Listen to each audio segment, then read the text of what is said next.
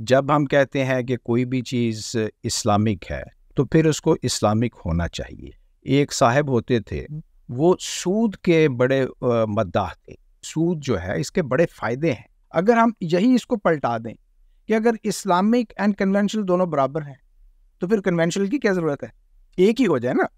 और जो बड़े बड़े शरिया स्कॉलर्स हैं वो भी उनके साथ जाके अपने शोल्डर्स रब कर रहे हैं। इस्लामिक बैंकिंग इज़ इस्लामिक एक इस्लामिक सेटिस्फेक्शन के लिए। Capitalism is not a religion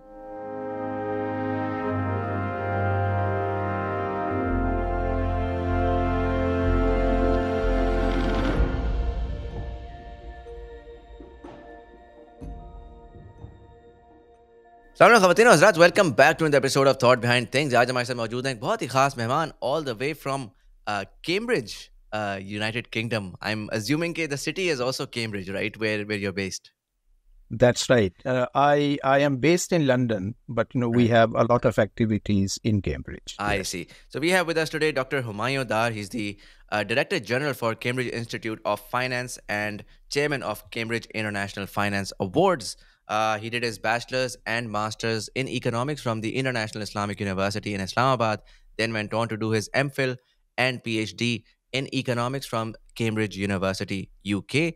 Uh, uske baad he has, a, has had a long career in uh, investment banking, but focused on Sharia compliance. And then he's been on the Sharia uh, boards of uh, different companies and banks, including Abu Dhabi Commercial Bank and Islamic Bank of Malaysia uh, and was previously the CEO of Deutsche Bank's Islamic Finance Division. Sir, thank you so much for being part of the show. Thank you very much आपने मुझे अपने show में बुलाया मैं आपका बड़ा शुक्रगुजार हूँ हुमायूं साहब मैं थोड़ा सा कॉन्वर्जेसन स्टार्ट करूँगा पहले तो हमने थोड़े दिनों पहले एक दो कॉन्वर्जेसन की थी on Islamic finance on Islamic economics but जब मैं आपकी प्रोफ़ाइल देख रहा था तो उसमें बारहा मेंशन था Sharia boards you know Sharia compliance Um, अगर मैं थोड़ा सा आपको स्टार्ट में बेसिक्स समझने की कोशिश करूँ ये रोल क्या होता है शरिया कंप्लायंस क्या होती है um, ये मॉडर्न बैंकिंग में ये पूरी चीज़ आई कैसे? Sharia boards Islamic banking and finance में बड़े, बड़ी सेंट्रल इनकी एक पोजीशन होती है। जब हम कहते हैं कि कोई भी चीज़ इस्लामिक है including Islamic banking and finance तो फिर उसको इस्लामिक होना चाहिए। शरिया बोर्ड का किरदार ये होता है कि वो जो भी products and financial services Islamic banks और other financial institutions they are offering they should remain in compliance with Sharia. बहुत ज़्यादा ज्यूरिस्टिक्शंस में शरिया बोर्ड की establishment this is a regulatory requirement including in Pakistan अगर पाकिस्तान में कोई बैंक अपने आप को इस्लामिक बैंक कहता है, और उसको इस बात की इजाज़त है कि वो इस्लामिक बैंक के तौर पे ऑपरेट करे तो ये रिक्वायरमेंट है रेगुलेटर की तरफ़ से स्टेट बैंक ऑफ़ पाकिस्तान की तरफ़ से कि वो एक शरिया बोर्ड बनाए। शरिया बोर्ड की कंपोजिशन मुख्तलिफ़ मुल्कों में मुख्तलिफ़ होती है। अगर हम डी आई एफ़ सी की एग्ज़ाम्पल लें, दुबई इंटरनेशनल फाइनेंशियल सेंटर वहाँ वो companies financial services companies bank और whatever if they want to do Sharia compliant business this is a regulatory requirement from D F S से that they should have a Sharia board comprising at least three members कुछ मुल्कों में, जैसे Malaysia में requirement ये है कि जी पाँच मेंबर्स हों। वो पाँच मेंबर्स कौन होंगे? Normally these are Sharia scholars उलामा होते हैं। जनरल उलामा नहीं होते, वो उलामा जिनकी, जिनका तखसस फ़िकुल मामलात मालिया में होता है। Jurisprudence of Islamic financial transaction ये फ़िका की एक ख़ास, एक एक ख़ास ये एक पोजीशन है। तो शरिया बोर्ड का जो बेसिक रेगुलेटरी इसका जो फ़ंक्शन है, वो ये है कि ये इंश्योर करें कि तमाम प्रोडक्ट्स और financial services and operations of Islamic banks और any other financial institution offering Islamic financial services should remain in strict compliance of Sharia तो अगर मैं किसी शरिया बोर्ड का मेंबर हूँ तो ये मेरी, मेरे मेरी, मेरे लिए एक रिक्वायरमेंट है कि I should ensure that all the operation products and offerings of that institution remain in compliance with Sharia क्या आप चाहते हैं कि आपका यूट्यूब चैनल या ऑनलाइन फॉलोइंग हो? Whether you're an entrepreneur content creator freelancer और just someone who wants to showcase your skills I've just launch a digital personal branding and content master class to take you from zero to your first 100,000 subscribers. In this course, I've combined 14 years of experience building multiple different platforms, podcasts, and personal brands into a two month long extensive bootcamp that includes recorded content, one on one consultation sessions with me, as well as weekly live question and answer sessions as I personally work with each of my students to help build the strategy for your success. और मेरे podcast listeners के लिए special 25% off by using the code TBT25 हम हर batch में बहुत limited amount of लोगों को लेते हैं because I want make sure that I give proper time to all of my students so sign ups are first come first serve basis and they running out fast so make sure you sign up as soon as possible I see you there make sense और अगर थोड़ा सा मैं आपसे पूछूँ history में जाके you you had like a 30 40 year career you know in banking, in economics and then particularly focused on sharia compliance. तो पिछले तीस चालीस सालों के अंदर इस्लामिक बैंकिंग की एवोल्यूशन हुई किस तरह है? मतलब we know that we know banks we studied banks we studied के आर यू नो ओवरऑल पूरी दुनिया में एवोल्यूशन ऑफ़ बैंक्स कैसे रही हैं एवोल्यूशन ऑफ़ करेंसीज कैसे रही हैं? But at what point did bank started to go Islamic और वो ये जो इसका जेनेसिस था, वो कहाँ से, वो ईस्ट से आया है? या वो वेस्टर्न बैंक्स थे जिन्होंने ईस्टर्न कम्युनिटीज़ के लिए ये प्रोडक्ट्स निकालना शुरू किए? ये बड़ा अच्छा सवाल है। और फॉर्चुनेटली इस्लामिक बैंकिंग की जो बुनियाद है, नज़रियाती बुनियाद, वो बर सग़ीर पाक हिंद में शुरू हुई। मुसलमान स्कॉलर्स उन्होंने 1940s 50s में इस बात की बात करना शुरू कर दी कि अब हमें specially in the context of Pakistan के जब मुल्क आज़ाद हो चुका है और ये मुल्क इस्लाम के नाम पे बना है आप देखते हैं कि दीवारों पे भी लिखा होता है, पाकिस्तान का मतलब क्या? ला तो ऐसा मुल्क जिसकी बुनियाद इस्लाम है, इसका इकतसादी निज़ाम भी इस्लामी होना चाहिए। तो अगर 1947 देखा जाए तो उस वक्त जो कुछ भी हमने इनहेरिट किया, उसमें तो इस्लामी चीज़ें बहुत कम थी, ना होने के बराबर थी। तो 1950s में 1960s में ये चीज़ जो है एकेडमिक सर्कल्स में काफ़ी हद तक इसकी जान पहचान शुरू हुई और इसकी पॉपुलैरिटी इंक्रीज हुई। सिक्सटीज़ के अंदर कुछ अटैम्प्ट हुई। 1960s में for example there was a very small attempt in Egypt वहाँ एक non bank savings Islamic saving institution किसी ने बनाया, जो कि अपने उस हजम के इतबार से काफ़ी कामयाब था। It was a small institution, however, it caught the attention of the government of that time. तो उन्होंने उसको बंद कर दिया। उसकी वजह यह थी कि इजिप्ट में पॉलिटिकल सिचुएशन जैसा कि आपको पता होगा अलखवानमसलिम वॉज़ गेटिंग गेटिंग मोमेंटम तो उस वक्त की गवर्नमेंट ने सोचा या समझा कि ये इस्लामिस्ट मूवमेंट को सपोर्ट करेगा। तो उसको बंद करके उसकी जगह एक पब्लिक सेक्टर इंस्टीट्यूशन बनाया जिसका नाम था नासिर सोशल बैंक क्योंकि ये बनाया ही जमाल अब्दुल नासिर ने था तो नासिर सोशल बैंक एक उसको उसको इंटरेस्ट फ्री बैंक के तौर पे कहा गया, इस्लामिक बैंक नहीं कहा। वो आज भी इजिप्ट में Nasser social bank as a public bank operate करता है। चूँकि वो नॉन इंटरेस्ट है तो उसको इस्लामिक ही कहा जाता है। जो पहला कामयाब तजुर्बा इस्लामिक बैंकिंग के साथ हुआ, वो है 1975 में दुबई इस्लामिक बैंक को इस्टेब्लिश किया गया इन द प्राइवेट सेक्टर। और उसी साल एक मल्टीलैटरल इंस्टीट्यूशन, जिसका मुसलमानों को बहुत मालूम है, Islamic Development Bank was set up by the member states of Organisation of Islamic Cooperation तो इस्लामिक डेवलपमेंट बैंक भी 1975 में बना। अब ये दोनों बैंक आज तक काम कर रहे हैं। इसलिए हम कहते हैं कि पहला successful experiment with Islamic banking and finance was done in 1975 and this has sustained. उसके बाद मुख्तलिफ़ मुल्कों में इस्लामिक बैंक्स की बुनियाद रखी गई। इसमें दो अशखास उनकी बड़ी कंट्रीब्यूशन है। Prince Mohammed al Faisal of Saudi Arabia उन्होंने पूरी दुनिया में तकरीबन बारह तेरह ममालिक में फैसल बैंक्स बनाए। आज जो पाकिस्तान में फैसल बैंक है, वो भी उसी ग्रुप का हिस्सा है। उन्होंने अपने इस ग्रुप की बुनियाद जिनेवा में डाली और उसका नाम दारुल माल इस्लामी ट्रस्ट रखा। तो डी एम आई ट्रस्ट जो है, उसने मुख्तलिफ़ मुल्कों में फैसल बैंक्स बनाए। एक और शख्स जो हैं, वो उन्होंने जो दल्ला अलबारका ग्रुप के बानी हैं, वो भी सऊदी थे। शेख साले कामिल उन्होंने अलबारका बैंक्स बनाए। Again we have one al baraka bank in pakistan but there are these al baraka banks in, in another 16 17 countries as well. फिर ये एक मूवमेंट चल पड़ी तो 1980s में काफ़ी ज़्यादा इस्लामिक बैंक्स बने। फॉर एग्ज़ाम्पल 1983 में मलेशिया ने अपना पहला इस्लामिक बैंक बनाया जिसको बैंक इस्लाम मलेशिया बरहात कहते हैं। और इस तरह दीगर मुल्कों में भी इस्लामिक बैंक्स बनना शुरू हो गए और वो उनमें से काफ़ी जो है ना वो आज तक चल रहे हैं। बहुत छोटी तादाद में और बहुत छोटे हुजम के साथ ये एक मूवमेंट चली।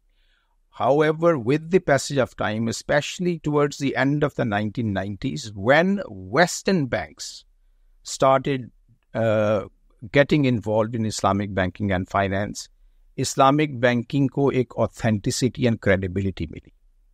जब इस्लामिक बैंकिंग का आगाज़ हुआ था 1960s में या 1970s में सरप्राइजिंगली सबसे ज़्यादा अपोजिशन इसकी इस्लामी ममालिक की हुकूमतों की तरफ़ से आई। जैसे कि मैंने पहले अर्ज़ किया कि ये एक सोच थी कि कहीं ये इस्लामिस्ट पॉलिटिकल मूवमेंट का हिस्सा तो नहीं है। इसलिए हम देखते हैं कि इराक में सद्दाम हुसैन फॉर एग्ज़ाम्पल उन्होंने जब तक वो ज़िंदा रहे, उन्होंने इस्लामिक बैंक्स को इराक में नहीं बनने दिया। Mohammed al Gaddafi is another one and of course we have Hafez Assad, Bashar al Assad के जो वालिद हैं, इन्होंने भी कभी भी इस्लामिक बैंकिंग को इसकी इजाज़त ही नहीं दी। तो सबसे पहले जो एक किस्म की रेजिस्टेंस पैदा हुई, वो इस, इस्लामी ममालिक की हुकूमतों की तरफ़ से आई। तो जब 1990s में western institution the likes of H S B C Citibank B N P Paribas Credit Agricole and so many other western financial institution they started looking into Islamic banking and finance and actually they enter the market as well तो हमारे इस्लामी मुल्कों में हुआ कि अगर ये Islamic banking कर रहे हैं तो हमें भी ये देखना चाहिए। Especially Dow Jones, for example. Dow Jones, towards the uh, end of 1990s, uh, Dow Jones uh, find Islamic equity screening पे काम करके उसको पॉपुलराइज किया तो उसकी वजह से बहुत ज़्यादा इस्लामिक एक्विटी फंड्स वजूद में आए और एक नई एसेट क्लास जो है वो इस्लामिक बैंकिंग एंड फाइनेंस में आई उसका अब रिज़ल्ट ये हुआ कि इस सदी की पहली दहाई में इस्लामिक बैंकिंग में बहुत ज़्यादा रैपिड ग्रोथ हुई। uh, इतनी ज़्यादा कि towards the end of the first decade of this century the volume of Islamic financial assets worldwide they reached about one trillion तो आज की अगर मैं ये बात करूँ तो 4.5 trillion US dollars this is the global size of assets of Islamic financial services industry. तो ये इस तरह करके इवॉल्व हुई।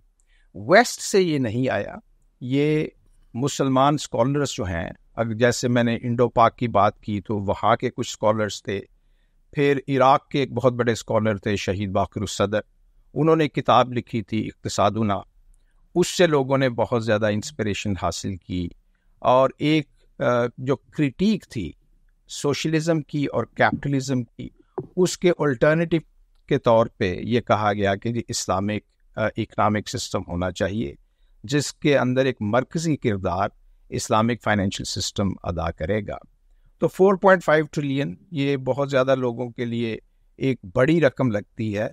However, still, on a global level, Islamic banking and finance is only a very small percentage of the global financial markets. It's about 1.5, 1.7% of the global finance. Make sense इसमें अगर मैं आपसे पूछूं कि क्योंकि मोस्ट पीपल जब वो Islamic banking को देख रहे होते हैं तो उनको ज़्यादा लार्जली यही समझ आता है कि अच्छा जी हमने यू नो डेट ड्रिवन चीज़ों के बारे में वो कॉन्वर्जेसन होती है। इंटरेस्ट का जो वर्ड है, उसके ऊपर कॉन्वर्जेसन होती है। अभी आपने बड़ा इंटरेस्टिंग मेंशन किया Islamic equity fund if I were to ask you कि जब हम इस्लामिक फाइनेंस और इस्लामिक बैंकिंग की बात करते हैं तो what are the different products and and and sort of services जिसमें ये इस्लामिक बैंक्स घुसे? बिकॉज़ जहाँ तक डिपॉजिट और कैश इन कैश आउट है, वो तो same my understanding is that is going to be the same right तमाम कंट्रीज़ हैं, उनकी अपनी फियट करेंसी एग्जिस्ट करती है, आपने जाके वो डिपॉजिट कराना है। तो उसमें तो कोई डिफरेंस नहीं आ रहा। प्रॉब्लली जब आप सेविंग्स की साइड पे जा रहे हैं, जब आप इन्वेस्टमेंट्स की साइड पे जा रहे हैं, वहाँ पर essentially Islamic and conventional banking में डिफरेंस आएगा। इज़ दैट करेक्ट देखिए, जहाँ तक बैंकिंग का ताल्लुक है ना तो बैंकिंग प्रोडक्ट्स सेम ही रहेंगी whether they are being offered by conventional interest based banks और बाय इस्लामिक बैंक्स ये कोई नई कोई चीज़ नहीं इस्लामिक बैंक्स कोई नई चीज़ नहीं लेके आएँगे अलबत् इस्लामिक बैंक जो हैं, वो शरिया कंप्लाइंट तरीके से वो चीज़ें लेके आएँगे। अगर मैं, मेरे पास एक ऑप्शन है कि मैं बाकले बाकले बैंक के पास जाके वहाँ से एक मोगज ले लूँ और मेरे पास एक और ऑप्शन होती है जी, इस्लामिक मोगज कोई अगर कोई बैंक ऑफ़र कर रहा है तो मैं जाके वहाँ से ले लूँगा। मेरा एंड मकसद जो है, वो ये है कि जी मैं एक घर में रहूँ, जो कि इवेंचुअली मेरा हो जाए। तो जब मैं कन्वेंशनल बैंक के पास जाता हूँ तो वो मुझे लोन देते हैं, पैसे देते हैं। मैं वो पैसे यूज़ करके घर खरीद लेता हूँ एंड ऑफ़ कोर्स उस घर के ऊपर बैंक जो है वो मोर्गेज ले लेता है। जब मैं किसी इस्लामिक बैंक के पास जाता हूँ तो मेरा मकसद तो यही है कि जी मैं घर लूँ। तो उनके पास जब जो जाता हूँ तो वो एक डिफरेंट मैकेनिज्म यूज़ करते हैं। वो कहते हैं, जी हम घर खरीदेंगे और वो हमारे नाम होगा आप हमें एक twenty five years twenty years fifteen years ये एक हम आपको पेमेंट स्केड्यूल देते हैं। उसके मुताबिक जब तक आप हमें पे करते रहेंगे रेंट भी देते रहेंगे और साथ साथ आहिस्ता आहिस्ता हाउस के अंदर एक्विटी मज़ीद देते रहेंगे तो हम आपको ये ट्वेंटी फाइव ईयर्स जब भी होगा, उसके बाद आपके नाम ये कर देंगे। तो एंड रिज़ल्ट तो वही है। उसमें जो मैं रेंटल भी देता हूँ, वो भी सीमिंगली इंटरेस्ट ही की तरह होता है। अगर मुझे मेरी माहाना किस्त जो है, वो कन्वेंशनल बैंक के लिए 500 पाउंड्स है तो इतनी ही जो है ना वो इस्लामिक बैंक के होगी। तो जो प्रोडक्ट्स होती हैं, वो सीमिंगली डिफरेंट होती हैं। However in one case it is not in compliance with sharia I E conventional banking के केस में और इस्लामिक बैंकिंग के केस के अंदर जो है ना वो शरिया कंप्लाइंट होती इसमें वैल्यू क्या है? वैल्यू ये है कि जी मेरा ये इतमान है कि जी मैं एक काम जो है वो इस्लामी तरीके से कर रहा हूँ। मेरी जेब के ऊपर जो है ना वो उतना ही असर पड़ रहा है जितना कि मैं बाकले बाकले के पास जाता। तो ये basically this is Islamic banking is Islamic हम एक इस्लामिक सेटिस्फेक्शन के लिए। बिल्कुल इसी तरह जिस तरह मैं अगर के जाता हूँ लंदन में और वो हलाल नहीं है तो वो मुझे अच्छा नहीं लगेगा as a Muslim however However, when I find an alternative KFC where halal chicken is also available, it gives me a lot of comfort. हालाँकि दोनों प्रोडक्ट्स जो हैं from pure commercial view point test के लिहाज से भी वो एक जैसी होंगी.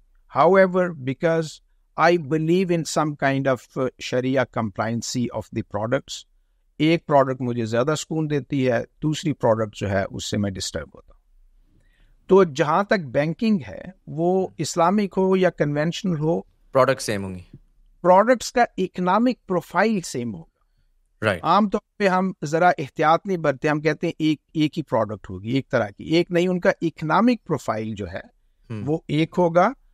However in terms of process in terms of contracts in terms of the way these things work okay they are different right अगर मैं आई टू आस्क यू जो कोर जब इस्लामिक फाइनेंस की बात होती है तो हमेशा concept of riba is at the forefront of it right and this is not just एक ऐसा कॉन्सेप्ट नहीं है जो सिर्फ़ इस्लाम में है। क्रिश्चियनिटी um, जूडियज़म में भी ये एग्जिस्ट करता रहा है। और recently I was actually Bassem Youssef साहब एक कमेडियन है जो कि इजिप्शन uh, जो कि पैलेस्टाइन के ऊपर काफ़ी अपनी आवाज़ उठा रहे हैं। तो उन्होंने इसकी हिस्ट्री का तस्करा किया एक पॉडकास्ट में जिसके बाद मैं उसके अंदर डाइव डीपर किया तो पता लगा कि जी यूरोप में भी historically you know interest was banned and वो जूडियज़म का थोड़ा सा उनका ये कॉन्सेप्ट है कि वो ये कहते हैं कि जी हमारे हम रिबा नहीं करेंगे लेकिन हम रिबा की प्रोडक्ट किसी और को भेज सकते हैं। तो जिसकी वजह से एक long history of of Jewish people in the finance trade वो फिफ्टीन सेंचुरी से लेके एटीन सेंचुरी तक आपको होती हुई नज़र आई। Um, जिसमें अगेन बहुत सारी सोशल टेंशन बहुत सारा जो प्रॉब्लम है विद इन यूरोप रहा है that was backed by the financial system उस कॉन्टेक्स्ट में कंसिडरिंग के every time God has sent a major religion उसमें रिबा को बड़ा कैटेगोरिकली उन्होंने मना किया है। First of all I would like to understand कि आपके स्कोप uh, में व्हाट इज़ योर अंडरस्टैंडिंग कि रिबा एग्जैक्टली exactly क्या है? एंड um, देन दूसरा मैं ये समझना चाहूँगा कि मॉडर्न डे में जब आप दुनिया को देखते हैं तो आप रिबा को किस तरह से क्या चीज़ समझते हैं? मसलन uh, जो जो हम जो इंटरेस्ट है just quote and quote interest is that riba या उसका कोई फिलोसॉफिकल कोई डीपर अंडरस्टैंडिंग है um, जो कि शायद पोटेंशियली किसी और तरीके से मॉडर्न डे में मैनिफेस्ट करती होगी? Again thank you very much for this fundamental question क्योंकि मुसलमानों को भी रिबा के बारे में बड़ी कन्फ्यूज़न है। एक साहब होते थे मैं ज़रा लाइटर मोड में बात करूँगा। उनका नाम था तुफैल होशियारपुरी। वो सूद के बड़े मद्दाह थे। इतने तो वो कहते हैं जी, सूद जो है, ये इस्लाम कैसे इसको इसको प्रोहिबिट कर सकता है? तो वो अपनी किताबों में भी ये कहते थे जी, सूद जो है, इसके बड़े फ़ायदे हैं। तो उन्होंने एक रिसाला निकाला क्या में पाकिस्तान से पहले की बात है, और उस रिसाले का नाम सूद मंद रखा। अब सूद मंद लफ्ज़ जो है ना, इसका मतलब यह है कि ये फ़ायदा मंद चीज़ है। तो बड़ी कंफ्यूजन जो है ना वो पैदा हो गई है कि जी इन रिबा इंटरेस्ट सूद, ये है क्या चीज़ जो है? इस्लाम ने इसके ऊपर बड़ा क्लियर स्टैंड लिया है। लाइक अदर रिलीजन्स जो आपने भी ज़िक्र किया जूदाइज़म क्रिश्चियनिटी इवन आपको हिंदुज़म में भी ये चीज़ मिलती है। दुनिया के जितने भी मजाहब हैं अध्ययन हैं, उन्होंने इंटरेस्ट को या सूद को या इसकी जो भी वेरिएंट्स हैं, उनको पसंद नहीं किया। तो सूद जो रिबा है क्या? रिबा बहुत इन सिंपल टर्म्स जब भी किसी किसी एक चीज़ की इस तरह एक्सचेंज की जाए कि दो मुख्तलफ मकदारें एक्सचेंज हों in such a way that one party emphasise that I will give this quantity of this commodity and I would receive a slightly higher or significantly higher quantity of the same quantity uh, commodity from you. तो ये हो जाएगा रिबा जब जैसे अगर हम चावल जो है चावल अगर मैं आपको एक किलो चावल देता हूँ और मैं कहता हूँ कि इसके बदले में आप मुझे डेढ़ किलो चावल दे दें तो ये जो एडिशनल क्वांटिटी होगी वो रिबा होगी अब कुरान ने जो रिबा जो है, जिसके बारे में कहा जी कि अगर तुम रिबा को नहीं छोड़ोगे तो तुम्हारी अल्लाह और अल्लाह के रसूल के साथ जंग होगी। तो ये जो मैंने पहली डेफिनेशन बताई है, ये रिबा भी, ये Riba base level level Riba है, ये भी हराम है। जिसके बारे में जंग की बात की, वो असल में वो रिबा है, जो मैं आपको अगर एक सौ पाउंड जो हैं, वो अभी दूँ तीन महीने के लिए कर्ज के तौर पे क्योंकि अगर आप तीन महीने के अंदर अंदर मुझे वापस कर देंगे तो ये तीन सौ पाउंड एक सौ पाउंड ही मैं वापस लूँगा। लेकिन अगर आपने ये नहीं दिए मुझे किसी वजह से तो मैं आपको तीन महीने और दूँगा, लेकिन मैं आपसे डबल लूँगा। सौ पाउंड नहीं लूँगा, दो सौ पाउंड लूँगा। और अगर छह महीने बाद अगर आपने मुझे पैसे अदा नहीं किए तो मैं आपको छह महीने और दूँगा और आपसे चार सौ पाउंड इसको कहते हैं रिबा अल जाहिलिया जो कि उस वक्त प्रेवलेंट था। And this was extremely exploitative तो कुरान ने कहा जी कि ये जो करेगा, इसके, ये अल्लाह और अल्लाह के रसूल के साथ जंग करेगा। तो बेस लेवल भी उतना ही हराम है, जितना कि ये वाला बड़ा संगीन किस्म का रिबा जो है, वो हराम है। अब चूँकि अगर आप जो है ना, छोटे लेवल वाला भी जो मैंने जो बेस लेवल रिबा जो किया है ना आज भी अगर आप उसमें इन्वॉल्व हो जाएँ और किसी वजह से आप इस ट्रैप में फंस जाएँ तो आपकी ज़िंदगी बड़ी ख़राब हो जाती है। I will give you example of a credit card आप अगर यू में रहते हैं आपने एक्यूमुलेट कर लिया हंड्रेड दिरम्स का क्रेडिट कार्ड का डेट तो उसका और अगर आपने जो है ना आ, आप रिवॉल्वर बन गए आप ट्रांजैक्टर नहीं है। ट्रांजैक्टर वो है जो कि हर महीने पैसे जो है within the due date दे देता है, उसको तो कोई नहीं है। लेकिन अगर आप जो है ना रिवॉल्वर बन गए, आपने वो डेट डेट में फंस गए तो फिर आपके लिए उसमें से निकलना बड़ा मुश्किल हो जाता है। ये वही लोग जानते हैं जो कि उसके अंदर फंसे। तो आप बेस लेवल पे जाते हैं, लेकिन आहिस्ता आहिस्ता करके जो है वो आपके ऊपर इतना ज़्यादा उस डेट का बर्डन हो जाता है कि आपके लिए परेशानियों में बहुत ज़्यादा इजाफा हो जाता है। This is applicable to the individuals as well as to the governments अब देखें, जो गवर्नमेंट्स जो है, वो डेट क्राइसिस में फंसी हुई हैं, उनके लिए भी वहाँ से निकलना मुश्किल हो जाता है। तो समझने के लिए यही है कि जब भी कोई भी चीज़, वो कोई चीज़ हो या मनी हो whenever someone exchanges that commodity, that money in unequal quantities, either on spot or with deferment of time that would be deemed riba. This is uh, prohibited in islam. इसका जो भी नाम हो जाए उसका नाम सूद हो उर्दू के अंदर या इंग्लिश के अंदर उसको इंटरेस्ट कह दें ये सारे के सारे जो हैं वो इस्लाम की जो रिबा की हरमत है उसकी जद में आते मेक सेंस अगर मैं आपसे पूछूँ आपने पहले ज़िक्र किया इस्लामिक डेवलपमेंट बैंक का अच्छा पाकिस्तान में बच्चा बच्चा सड़क पे कोई चल रहा होता है, उसको दो बैंक्स का बड़ा अच्छे से पता है। उसको शायद कंज्यूमर बैंक्स का बेशक इतना आइडिया नहीं होगा, लेकिन उसको आईएमएफ और वर्ल्ड बैंक का हर पाकिस्तानी बच्चे को बड़े बेहतरीन तरीके से पता है। अच्छा जो थोड़ा ज़्यादा पढ़ा लिखा है, उसको एशियन डेवलपमेंट बैंक का भी पता है। जिसका नहीं पता, वो इस्लामिक डेवलपमेंट बैंक है। वो कभी छू के भी नहीं गुजरा पाकिस्तान को। अगर छू के गुजरा है तो कभी मेन स्ट्रीम में कंज्यूमर तक नहीं पहुँचा।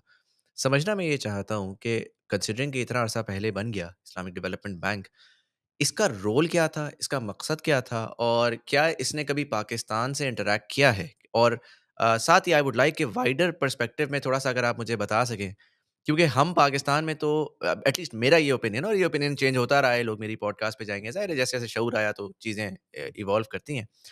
तो अब मुझे ये लगता है कि आईएमएफ अगेन आपने जिस तरह से डेट का ज़िक्र किया कि बाय एंड लार्ज वो एक टूल ही बन चुका है एक पॉलिटिकल टूल बन चुका है वो आपको जो है ना वो एक डेट ट्रैप में ही डालता है वो आपको अजीब गरीब किस्म मतलब वो आई एम एफ़ आता है आके आठ अरब डॉलर देता है उस आठ अरब डॉलर से हमारी अशराफिया जो है वो जाती है और महँगी गाड़ियाँ खरीदती है और चार साल बाद हम फिर से आई एम एफ़ के पास चले जाते हैं राइट सो टेक्निकली तो ये होना चाहिए कि कोई बैंक अगर आ रहा है तो वो आके गवर्नमेंट के साथ मिलकर एसेट्स के ऊपर या प्रोडक्शन के ऊपर या इंडस्ट्री के ऊपर काम करे और उसका एक प्रॉपर शरिया कंप्लाइंट मॉडल बनाए तो लॉजिक डिक्टेट्स के आज हम शायद बहुत बेहतर जगह पर होते बजाय इसके कि ब्लाइंडली आपने इतना सारा कर्जा दे दिया और उसके ऊपर बस सूद वसूल करते रहे और कंट्रीज़ जो है वो एक डेट ट्रैप में फंस गई।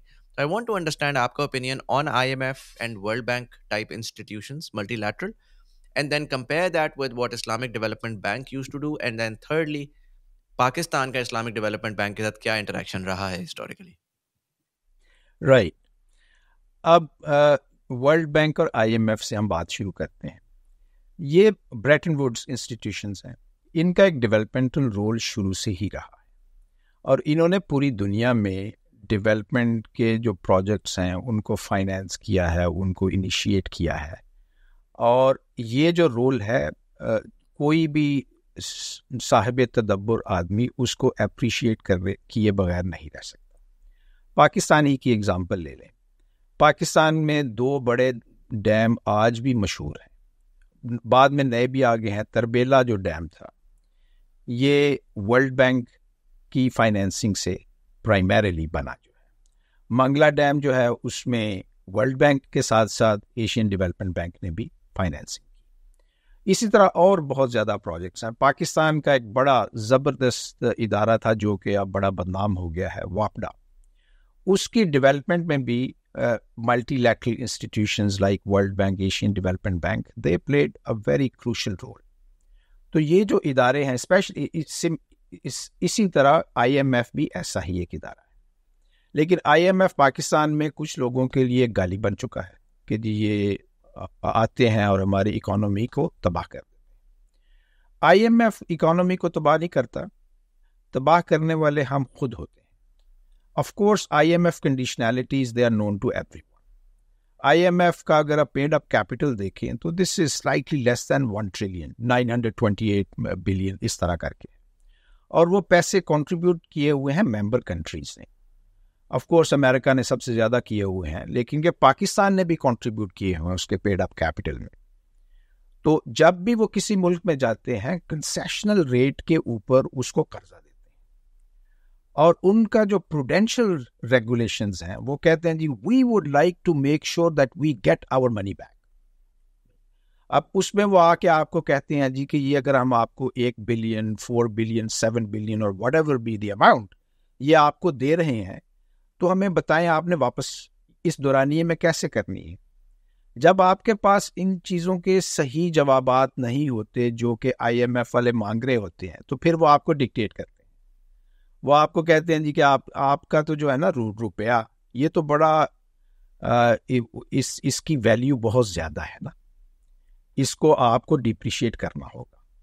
जब आप उनकी बात मान के डिप्रिशिएट कर देते हैं तो you actually open the flood gate of imports flood gate of inflation related with imports आप अगर पेट्रोलियम प्रोडक्ट्स जो हैं, उनको इंपोर्ट कर रहे होते हैं तो साथ ही ट्रिकल डाउन इफ़ेक्ट होकर सारी की सारी इन्फ्लेशन हो जाती है और लोग जो हैं वो तंग हो जाते हैं और कहते हैं, ये आईएमएफ ने हमें तबाह कर दिया। अब आप, पहली बात है कि गए ही क्यों? आईएमएफ के अलावा, अगर आपको कोई कहे जी कि कैपिटल मार्केट्स में चले जाएँ तो आपकी मिनिस्ट्री ऑफ़ फाइनेंस कहेंगी, जब हम कैपिटल मार्केट्स में जाएँगे, हमारी जो भी रिस्क रेटिंग है, उस लिहाज से हमें हायर इंटरेस्ट रेट के ऊपर फाइनेंसिंग मिलेगी। And we don't want to do that हम तो वन एंड टू परसेंट के चक्कर में जाएँगे।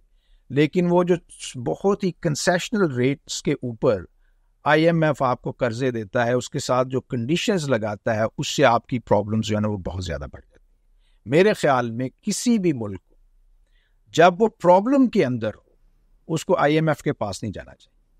जब आप बड़े कंफर्ट में हैं तो फिर आईएमएफ में कोई short term kind of approach लेके आप चले जाएँ तो वो इतनी ज़्यादा आपके ऊपर कंडीशंस भी लगाएँगे कंडीशंस वो लगाते हैं जब वो समझते हैं कि this economy is in trouble तो right. ज़्यादा से ज़्यादा आपके ऊपर लगाते हैं। नहीं बट तो डॉक्टर सॉरी मैं आपको इसमें एक चीज़ ऐड करना चाह रहा हूँ। देखें थियोरेटिकली तो अगर मैं इस्लामिक बैंकिंग के नज़रिए से देखूँ तो टेक्निकली तो ये क्रेडिट कार्ड ही नहीं है एक तरह से कि भाई वो आपको पैसे दे रहे हैं वो कह रहे हैं इसमें ये कंसेशनरी लोन्स हैं इंटरेस्ट है जो भी है। But at the end of the day they're giving you money they not asking any question right credit card का भी यही है आप जाएँ, आपने जाके यू नो फ़िल्म के टिकट्स देखने हैं, आपने जाके कोई महँगी गाड़ी रेंट पे लेनी है, आपने कपड़े खरीदने आप खरीद लें, आपकी इस्तात है नहीं है, आपको वो पैसे मिल रहे हैं। तो आज भी जब हम इस दलदल में हैं कि जिसमें लिटरली आईएमएफ जो हमें पैसे दे रहा है, वो वो सारे पैसे हमने उठाने और हमने कोई कर्ज रिटर्न करना है। Like we're just stuck in a debt trap whereas अगर यही चीज़ एक इस्लामिक बैंकिंग के असूल के हिसाब से हो रही होती तो जिस तरह आपने वर्ल्ड बैंक वाली बात बोली कि वो दैट्स फाइन कि उन्होंने पैसा दिया और उस पैसे को हमने इस्तेमाल किया towards development and assets build किए, जिन एसेट्स से लॉन्ग टर्म पे हम यू नो उतार भी सकते थे। So in a lot of ways वो जो आईएमएफ का लोन है, वो it's one can potentially argue कि इट्स नॉट गुड और इट्स नॉट बैड बट अगर मैं इसको साइड से देखूँ तो इट द सिचुएशन में हैव नेवर रिजन अगर वो fundamentals of Islamic banking follow कर रहा होता। इसमें तो मैं आपसे बिल्कुल इतफाक़ करता हूँ। ये आईएमएफ की जब हम बात करते हैं तो वो तो उनका कन्वेंशनल इंटरेस्ट बेस्ड लैंडिंग होती है। अल्दो कुछ लोगों को ये बात आ, इस बात का पता चलेगा तो वो खुश होंगे कि अगर आप आईएमएफ के पास भी जाएँ और उन्हें कहें कि हमें इस्लामिक फाइनेंसिंग की बुनियाद पे पैसे दिए जाएँ तो उनकी ये कैपेबिलिटी है कि वो आपको जो है ना वो इस पे देंगे।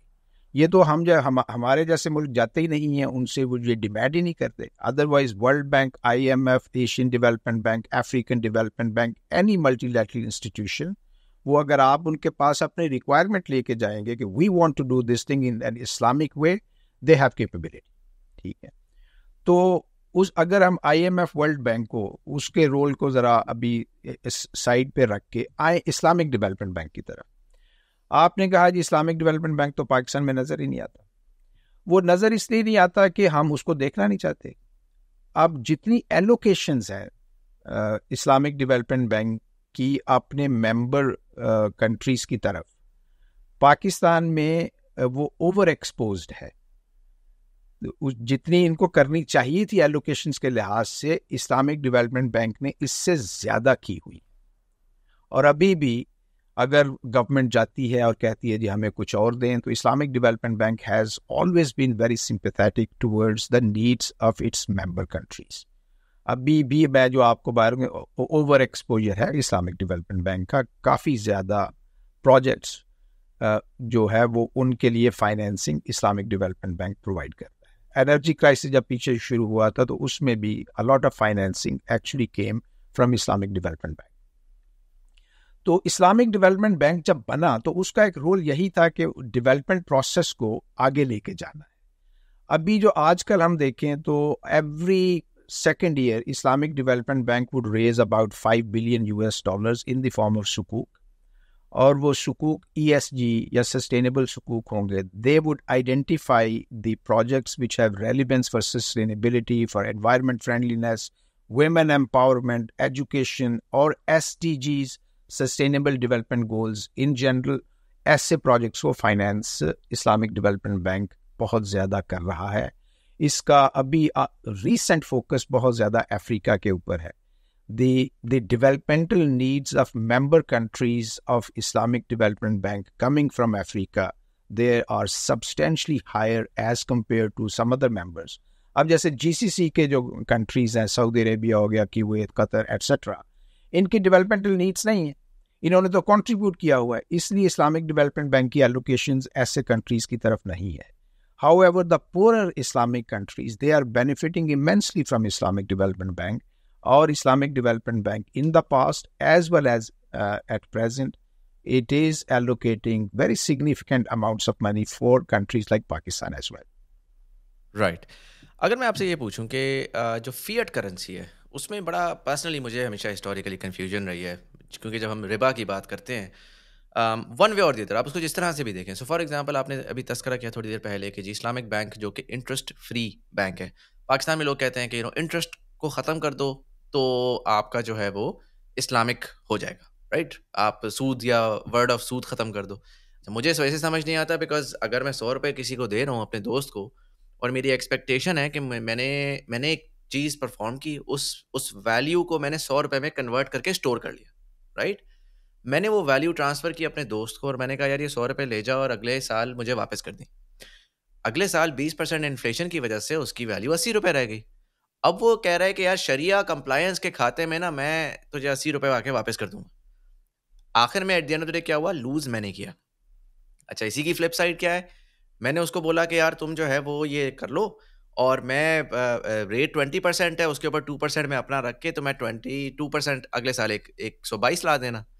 अच्छा उसने two percent at the end of the day मैंने एक्स्ट्रा कर लिया right so there is no equal के कुछ दिया और कुछ वापस लिया right and so there is a lot of confusion within this framework उसको, उसके ऊपर कॉम्प्लेक्सिटीज बहुत सारी डाल दी बट जब तक ये गोल्ड पैक था और I was speaking to Haris Irfan recently and he mentioned a very interesting stat जो कि मैंने बाद में जाके वेरीफाई भी की कि if you price the average livestock let's say goat या काओ और वो पिछले हज़ार साल में गोल्ड की प्राइस पे बाय एंड लार्ज वो सेम रही है उसकी प्राइस तो gold was an interesting commodity जो कि अक्रॉस डिफरेंट प्रोडक्ट्स वो सेम रहती थी। तो आपने अगर गोल्ड किसी को, उसने सही बेसिकली अपनी वैल्यू अपने अंदर प्रोटेक्ट की।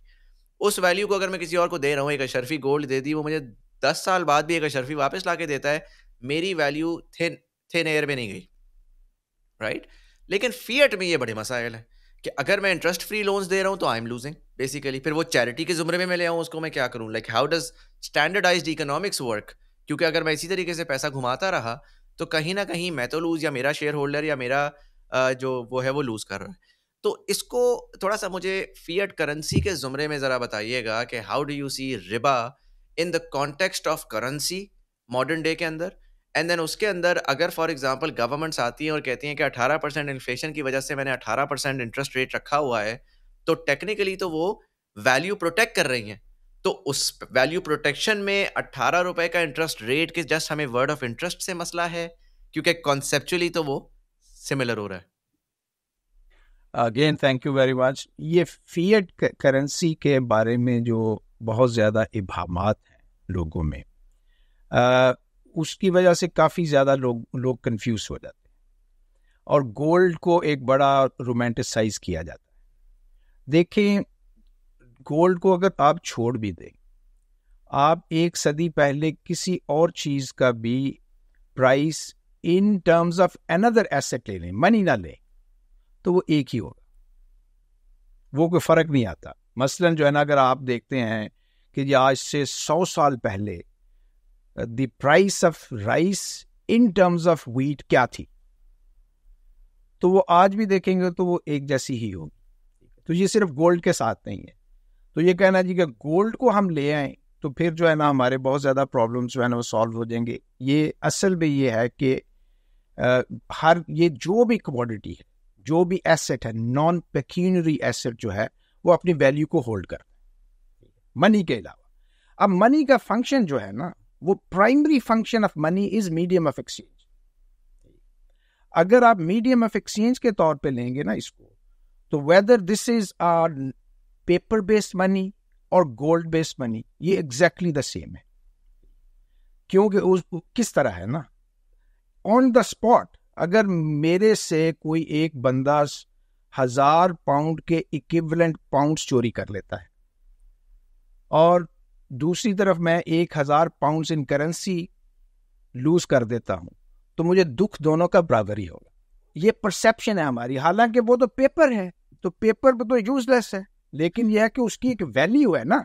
हमने अपनी परसीव की हुई है कि वन थाउज़ेंड पाउंड ये इसकी एक वैल्यू है। इसीलिए हम उसको मीडियम ऑफ़ एक्सचेंज के तौर पे यूज़ करते हैं। लेकिन देखें कंपैरिजन मैं गोल्ड वर्सेस करेंसी नहीं कर रहा। मैं कह रहा हूँ कि करेंसी बैक्ड बाय गोल्ड कि जिसमें वैल्यू मेंटेन हुई हुई है ठीक है और उसमें कम से कम हर किसी को इसका वो है कि एक आम आदमी है, उसके पास बैंक अकाउंट का एक्सेस नहीं है, वो लेना भी चाहता है तो उसके ऊपर वो वेस्टर्न गवर्नमेंट्स आती हैं और आके एफ़ के दस ऐसे लफड़े लगा देती हैं कि वो ले ही नहीं सकता। साफ़ सी बात है, Pakistan by and large unbanked इस वजह से आज। तो उसके पास अगर वो संदूक में कैश पड़ा हुआ है तो वो हर साल बीस percent twenty five percent thirty percent कभी कभार अपनी वैल्यू लूज कर रहा है।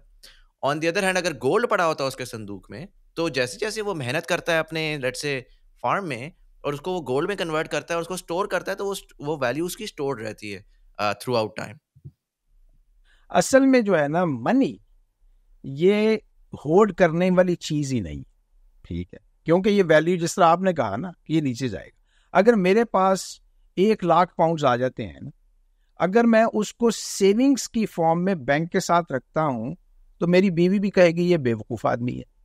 कहेगी, भाई को जाके जो है ना और घर खरीद लो। कोई और एसेट जो है ना वो खरीद लो, जो कि अपनी वैल्यू भी मेंटेन करेगा और रिटर्न भी देगा। तो ये मनी अगर हम जो है ना मनी को लॉन्ग टर्म में सेविंग्स के टूल के तौर पे लेना चाहते हैं this is not a rational decision किस, वो किसी फिर जो है ना वेल्थ मैनेजर की एडवाइस लेने की ज़रूरत होती है। ये मनी का ये फ़ंक्शन नहीं है।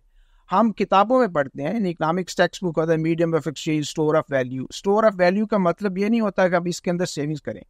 कोई भी बंदा, जो श्रूड आदमी जो है, वो वो मॉनेटरी सेविंग्स नहीं करता। वो जाके कोई एसेट खरीदता है, कोई घर खरीद लेता है, ये कर लेता है, वो, और वो चीज़ें जो है ना, वो करती है। तो फीएट मनी जो है, उसका कोई प्रॉब्लम कोई भी नहीं है। अब देखें फीएट मनी ने हमारी लाइफ को बड़ा ईजी कर दिया है। लॉजिस्टिकली फीएट मनी यूज़ करने से हमें बहुत ज़्यादा प्रॉब्लम्स नहीं आते, वरना हम जो है ना, बोरियों के बोरियाँ जो है ना, वो अशरफियों के लेके फिर रहे होते। तो और दूसरी बात यह है कि जब हम ये कहते हैं ना कि गोल्ड बेस्ड मनी हो हम चॉइस रिस्ट्रिक्ट कर रहे हैं लोगों की। जब एक करेंसी नोट्स बेस्ड या पेपर बेस्ड मनी है हम लो, लोगों को कहते हैं जी कि आप in a variety of assets जो है ना अपनी वैल्यू को स्टोर करें।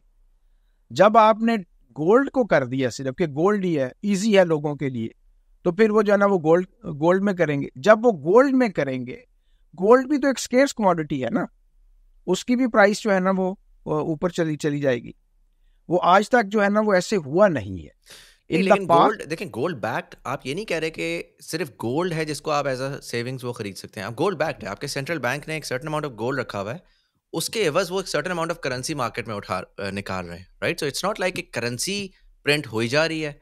और गोल्ड की प्राइस ऊपर जा रही है। करेंसी के जो टोटल गोल्ड है, उसी की अमाउंट लिमिटेड करेंसी अवेलेबल है मार्केट के अंदर।